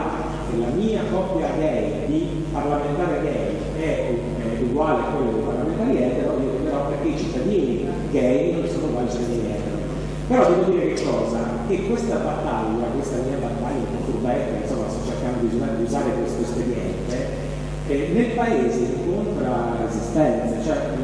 nel 90% dei casi mi dicono che io ho un beneficio della casta e lo sto utilizzando e che invece devo dire che io rifiutavo, poi dice ma io è a pagamento, sì ma noi ti paghiamo i soldi dello Stato, e dice ma io lavoro, eh ma che fa? In realtà anch'io vengo dal mondo delle, delle imprese, anzi io dire, sono molto felice di vedere Rosa Pazzi perché il mio lavoro è dirigere un'associazione che si chiama Pazzi e che si occupa di discriminazione sui luoghi di lavoro delle persone LGBT ed è un'associazione tra imprese, quindi sono i datori di lavoro che si occupano di creare situazioni nelle quali le persone che lavorano si sentono a loro agio, perché le persone non escono sul lavoro perché tastano il terreno, capiscono che non è il caso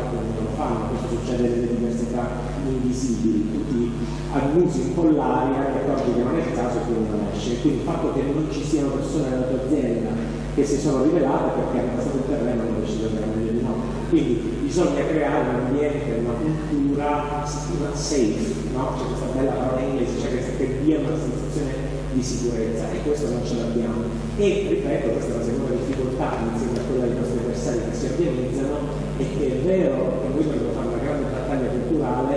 per spiegare che in un momento di crisi economica tu non ti devi dimenticare dei diritti civili e non devi dimenticare dei diritti umani, perché un paese cresce tutto insieme e anche perché le stesse persone che soffrono per l'assenza di diritti economici e sociali sono le stesse che soffrono dell'assenza di diritti civili, cioè il metalmeccanico non è sempre etero, voglio dire, quindi non è che mi preoccupo del metalmeccanico quando indossa la tuta blu, poi quando torna a casa la sera e trova il suo compagno, il metalmeccanico mi dimentico. Questo è un po' un vizio forse anche della sinistra, no? quello di ricordarci dei nostri concittadini in quanto lavoratori e non in quanto cittadini. E invece io penso che noi dovremmo pensare a cittadinanza che guarda, è un rapporto della politica con il cittadino che guarda il cittadino 24 ore al giorno, non solo dalle 8 alle 17, cioè durante l'orario di lavoro, ma anche quando torni a casa e appunto con un compagno dello stesso sesso, o trovi una compagna che non resta incinta, dovrebbe fare tutte le cose non per fare il dibattito, capire che se no la no, non era per assolutamente anzi per rafforzare no, io volevo fare esempio il discorso culturale e non solo la norma perché fino agli anni 60 in Italia esisteva per esempio un'analogia diritto d'onore. E se il d'onore non c'è più la norma l'ha tolto quindi ma non è che quel problema non esiste adesso si chiama femminicidio cioè quindi purtroppo culturalmente in Italia sono queste cose indietro è solo questo qua. Sì, che, però... non, che non, non pensiamo tutti che le attività quindi per esempio io avrei voluto accennare come sono anche un po' dimenticato il progetto EQUA che noi abbiamo seguito il Movimento 5 Stelle proprio per diffondere e di consapevolezza quindi era un, diciamo, anche un grande complimento a tutte queste associazioni come Diritti e altre che assolutamente dovrebbero essere forti scusa ti ho interrotto ma era solo per spiegare perché l'avevo detto. No, no, io non, non sono un po' limitato ma anzi come dire mi mettevo in quella, direzione. Eh, dicevo e che in buona sostanza, questo continuo devo dire, però... Sì, è esatto, che non possiamo, che non possiamo appunto, che quando, quando ci occupiamo e abbiamo una relazione politica con i nostri elettori, i nostri elettori sono tali anche quando quando fanno l'amore o quando muoiono o quando insomma tutta una serie di momenti dove la politica secondo me non ha fatto abbastanza. E quindi diciamo oggi oltre appunto alla, alla organizzazione di chi prima contro, io vedo anche un tema che tutti quanti insieme dovremmo fare, ecco questo per lì volevo arrivare, eh, dovremmo fare tutti insieme al di là delle appartenenze, là degli schieramenti, per spiegare ai nostri elettori, ai parlamentari, che ci stiamo trovando di tempo perché perdiamo tempo, perché in una visione della società, che è una visione dell'Italia più moderna, più innovata, migliore, più trasparente, più inclusiva, ci stanno tutte e due le cose. E a questo punto, tolti gli elementi di, di negatività, diciamo, di, di, pessimismo, voglio anch'io eh, associarmi invece alle note di cui ho sentito, nel senso che anche io faccio dire, una testimonianza in pelle. Eh, in questi 15 giorni di cui poi il lavoro è stato poi per molti momenti un lavoro anche molto perché sono state votazioni lunghissime, quindi tempi morti. Eh, io che appunto vengo dal, dal, dal, dalla direzione del personale, quello del mestiere, quindi eh, guardo agli altri con occhio critico e anche un po' tecnico, mi sono girato per, per l'aula di Montecitorio e ho avuto proprio un grande piacere di vedere che quest'aula è un'aula che assomiglia al paese di più di quanto l'aula somigliasse al paese prima, cioè è un'aula molto più diverse, no, molto più diversificata, molto più plurale, di donne, di giovani, cioè ci sono persone giovani e questo è buona parte dovuto al, al, al contributo dei, dei centri più parlamentari che dal Movimento 5 Stelle, ma anche noi del gruppo del Partito Democratico ci siamo rinnovati per più di due terzi e abbiamo un numero di donne altissimo, quindi non è soltanto 5 Stelle che proprio quella Camera si è radicalmente rinnovata, cioè le persone che sono lì, secondo me anche, anche creando qualche problema, perché molti, nostri, molte delle persone che dirigono il traffico alla Camera sono persone che sono nuove anche loro e che accorgi che stanno imparando impa- mentre fanno impari. Però questo è molto bello ed è vero che secondo me condivido l'ottimismo generalizzato qui quando si dice che questo Parlamento potrebbe stupirci, cioè potrebbe fare delle cose che nessuno ha fatto mai. Io penso che non metterci del nostro. Allora, adesso io sono il senatore che dice che ha presentato il progetto di legge di eh.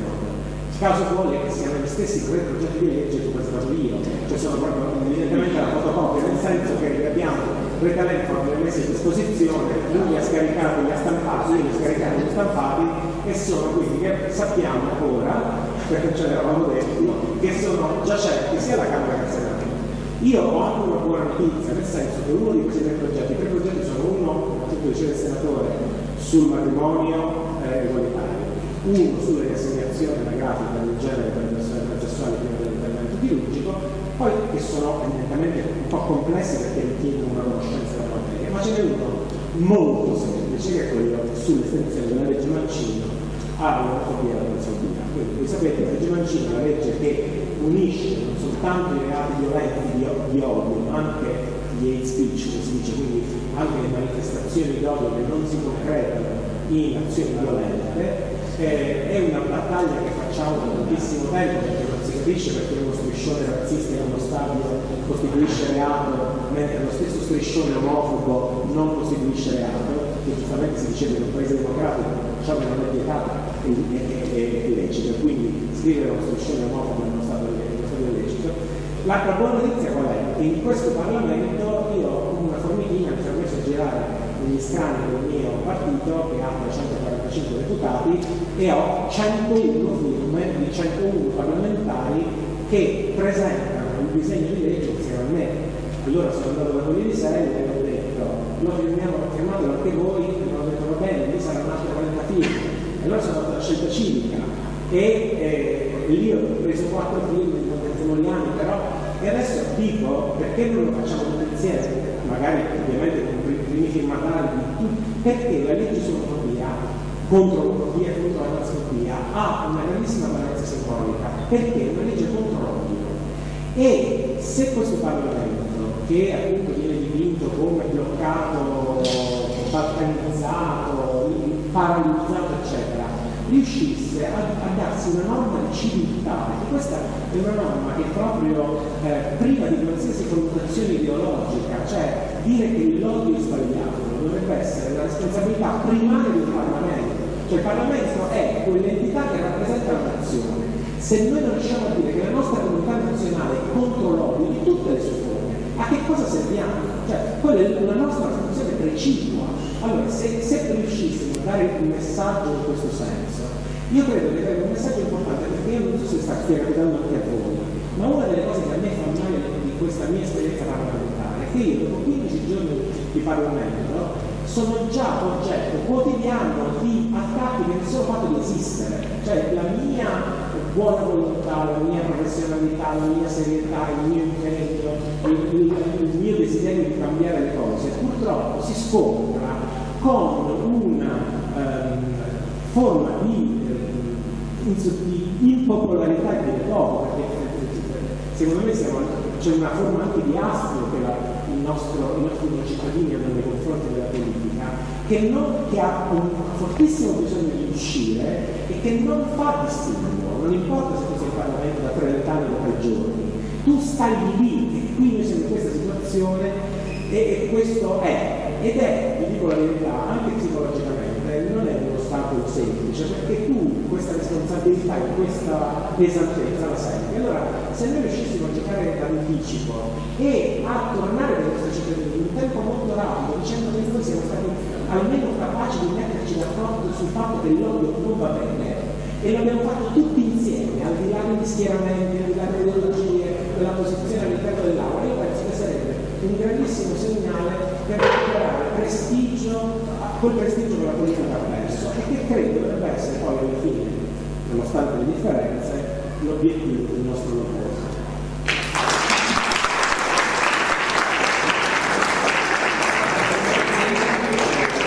Come sospettavo si stanno moltiplicando gli spunti di discussione dietro, andiamo avanti con il contributo. Oh, Benedetto della Vedova, sono molto contento che tu sia qua, lui è l'amico da tanti anni, ma questo momento in una bella posizione strategica dal punto di vista parlamentare. Ma ringrazio Enzo che dice certi diritti per eh, Due o tre riflessioni e un appunto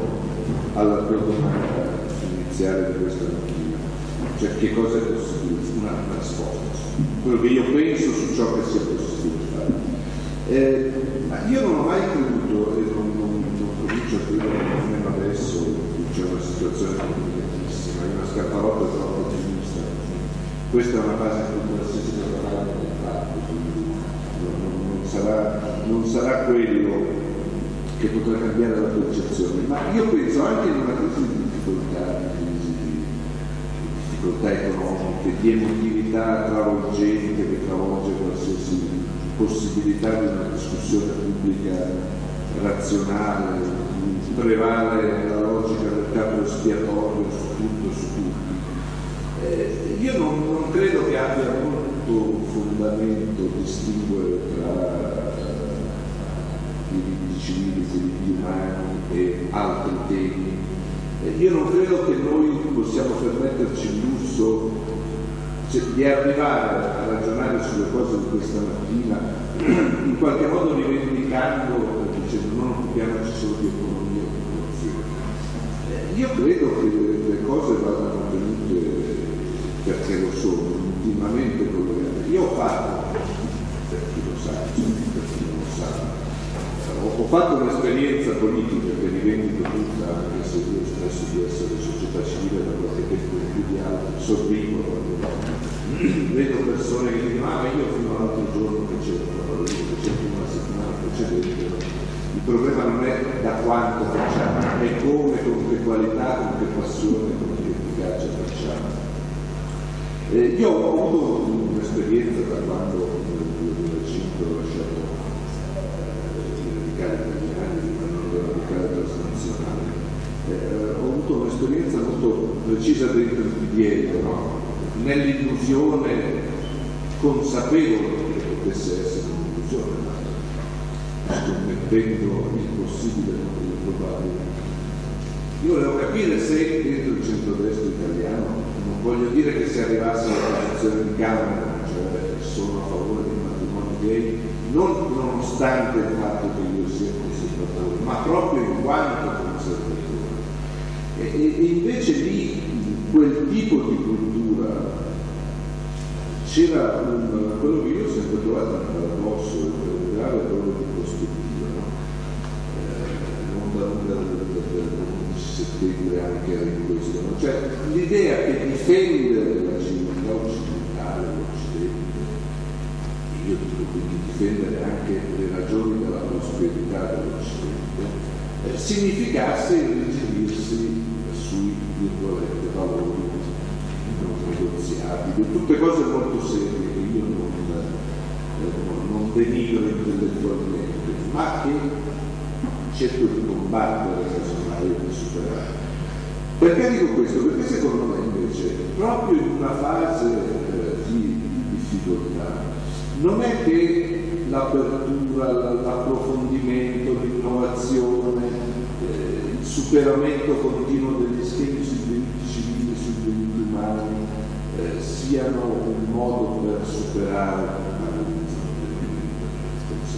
per superare l'Occidente o metterlo rispetto alle culture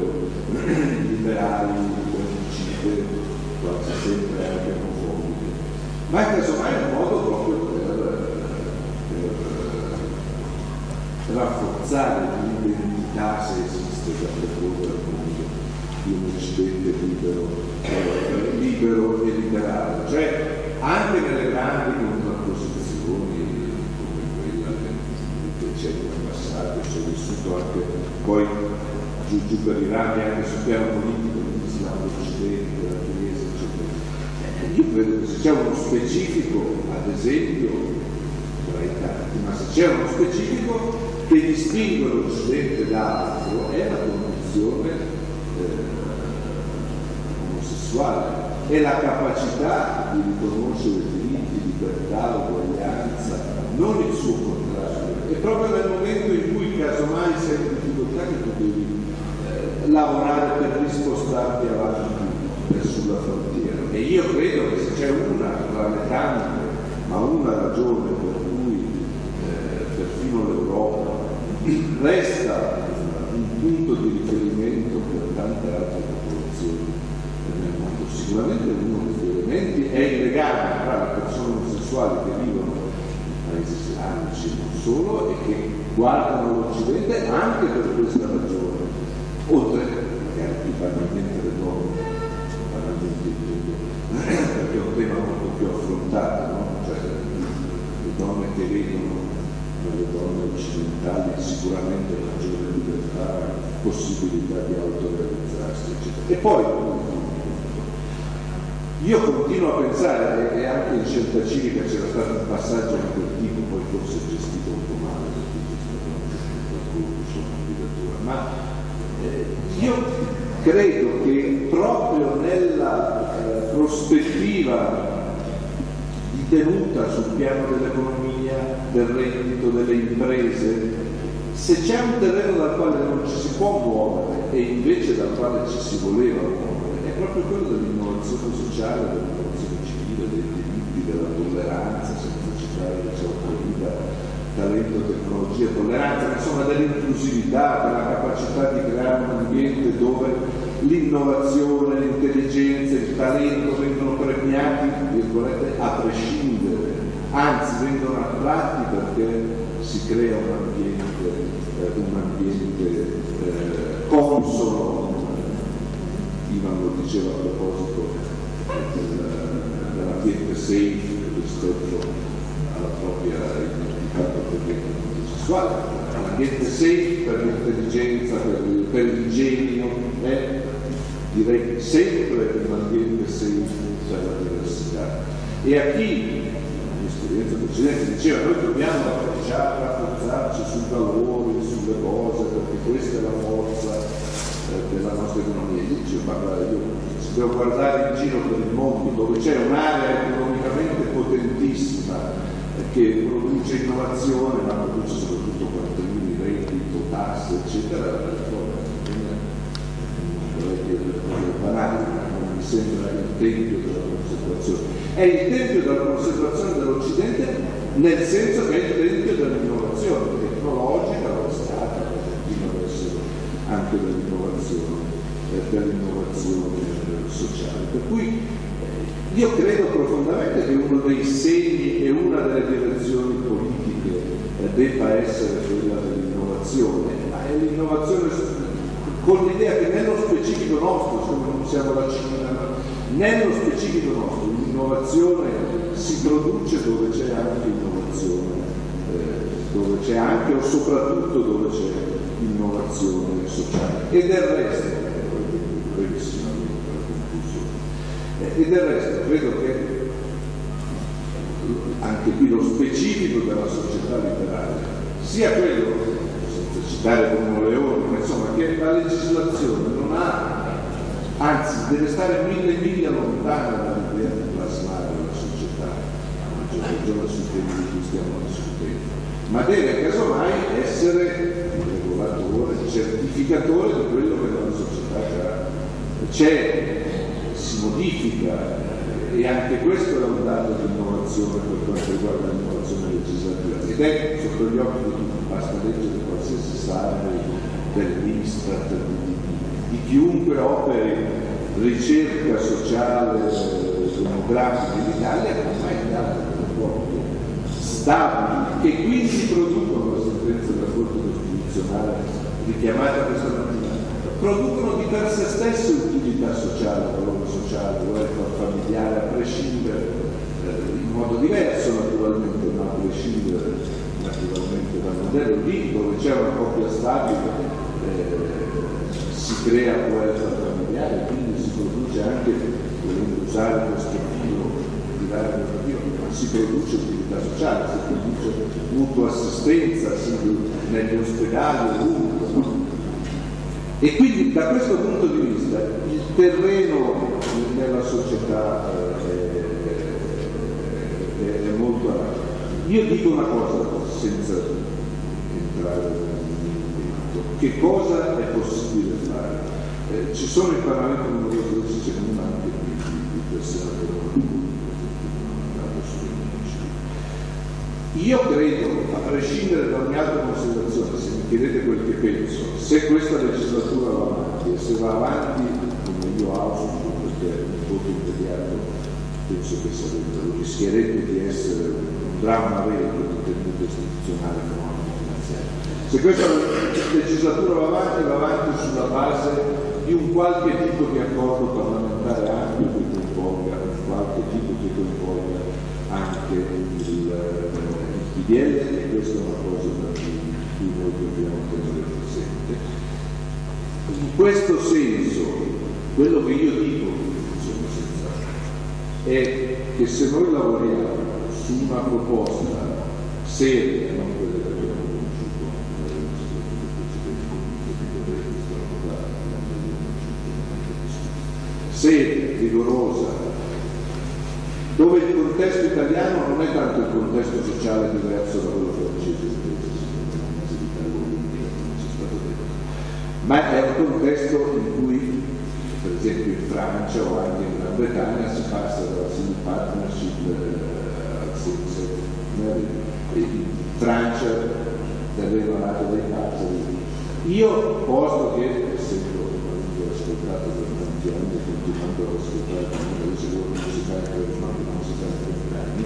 ma se io oggi dovessi dire quello su cui mi impegno a pancia terra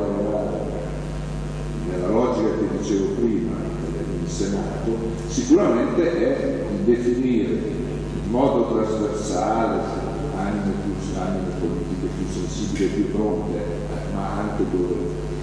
anche negli altri schieramenti oltre che nel mio. C'è attenzione su questo un, un testo di legge sulle unioni sul riconoscimento pieno giuridico pieno dei diritti delle coppie in quanto coppie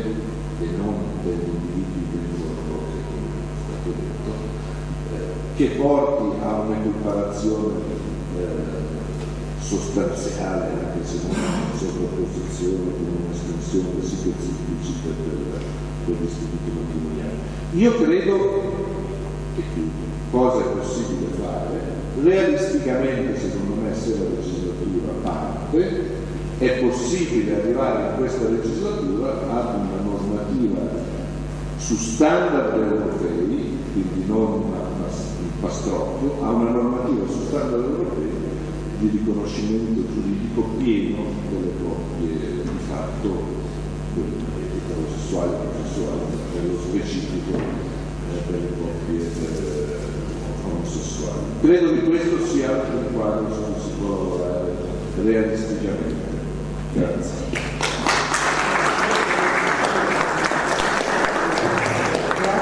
eh, a Benedetto. Eh, do la parola adesso molto volentieri, probabilmente saluto i due amici del PD, tanto di immediato. Eh, nel dare, ciao, eh, nel dare la parola a Vega, io volevo, no, no, eh,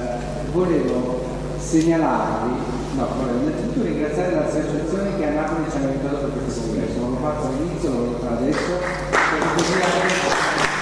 i deputati e i senatori che ascoltano, l'associazione locale qua di, qua di Napoli, il coordinamento Reino che, che ci ha dato una grande mano in questo, vi ringrazio molto, e voglio ringraziare anche Dejanira Trias perché è, è un'amica torinese, a Torino abbiamo lavorato molto, il progetto IFA è stato uno dei frutti, uno dei terreni della collaborazione, quindi quando c'è buona volontà e sensibilità si può lavorare, si fanno cose insieme. Quindi grazie al coordinamento, grazie alla grazie alla Lega Bolognese, da tuo modello c'è Lega Napolitano.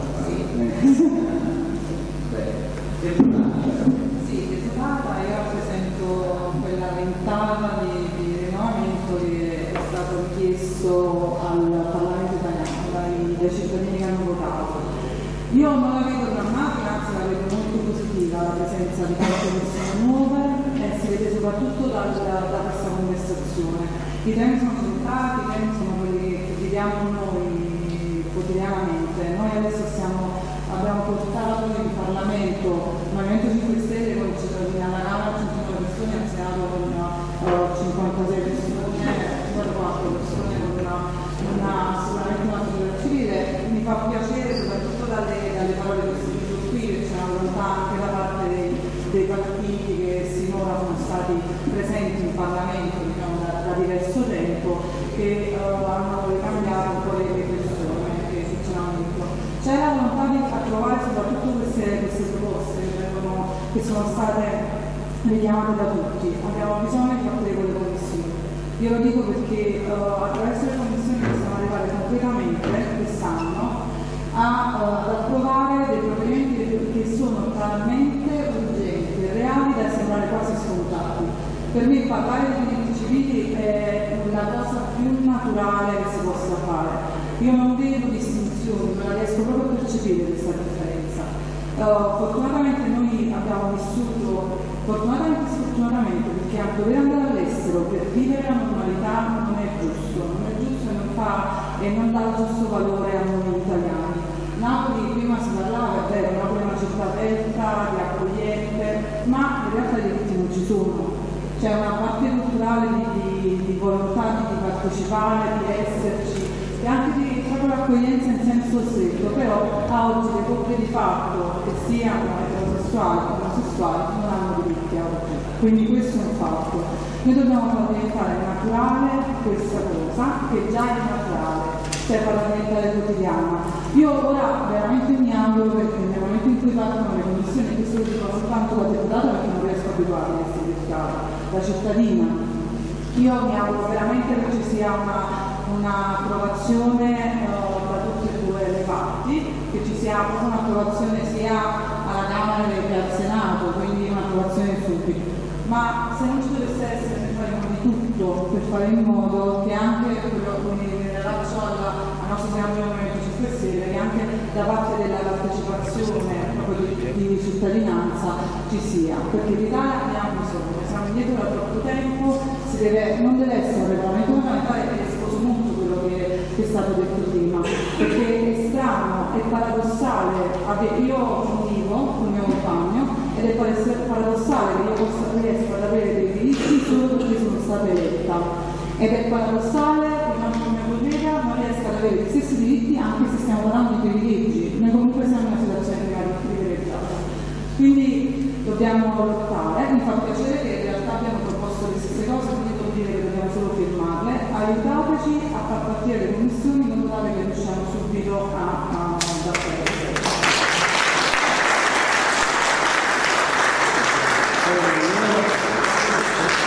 ringrazio per il contributo perché sei stata sintetica, quindi ci hai aiutato anche nel lavoro e poi sei stata molto precisa, molto concreta, le cose che c'è nel lavoro. Io trovo che queste disponibilità che sono arrivate oggi al nostro tavolo sono importanti, eh, spero che si possa continuare anche, con, anche nel Parlamento ovviamente che i deputati senatori trovino delle forme lì, ma anche con noi. Io lo dico a Flavio che qui presente, a me sentendo loro mi sono venute delle idee in testa. Eh, magari queste idee le possiamo materializzare insieme con le associazioni, non soltanto con i certi diritti, perché il Parlamento è il Parlamento è il Parlamento di tutti noi, di tutte noi. Quindi eh, ci possono essere delle proposte che dalle associazioni vengono, spero che vengano da tutte le associazioni insieme, per interloquire con tutti i parlamentari che ci stanno, o che ci vogliono stare. Mi sembra che i parlamentari qui presenti, sì, sì, sì eh, i parlamentari qui presenti hanno dato la loro disponibilità, quindi così almeno un punto di partenza c'è, poi ce ne saranno altri, ci saranno altri parlamentari sicuramente che siamo dimenticati, per carità, però insomma mi sembra un punto di partenza importante. Bisogna che chiesto la parola, le ha dato molto volentieri, per un prima in inglesi, rapida, breve, veloce e indolore. E questo lo so, lo dico io per, perché prevenire che paura e poi dopo dico qualcosa sull'organizzazione. Vorrei dire due cose. La prima è che la politica deve smetterla di essere ipocrita, deve avere il coraggio bisogno di salti di qualità, meritiamo di vivere in un paese civile. Penso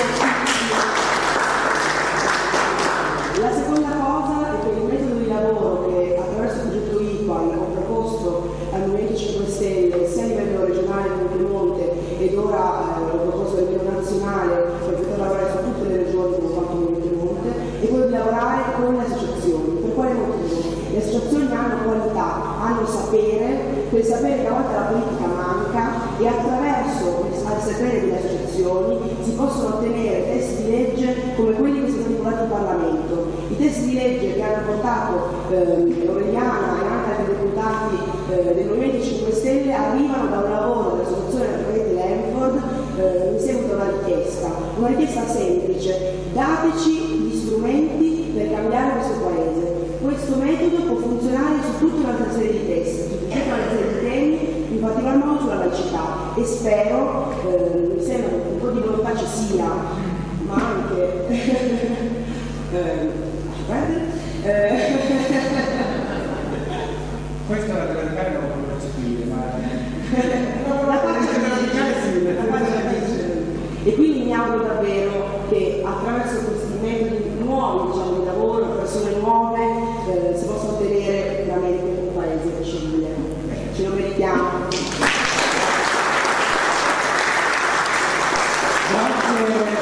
Grazie Gesolina, grazie a tutti voi che avete partecipato a questa prima sessione e ricominciamo il congresso alle due e mezza puntuali. Saranno tutti ipertassati coloro che arrivano anche alle, 12, alle 14.35. Iniziamo con la relazione del segretario, la relazione del tesoriere e con l'intervento programmato che abbiamo già previsto, quello di Filomena Gallo, che siamo molto felici di ospitare all'inizio del pomeriggio e poi ci sarà la sessione dedicata più specificatamente alle questioni internazionali. Tornate che siamo interessati. Grazie a tutti e a tutti.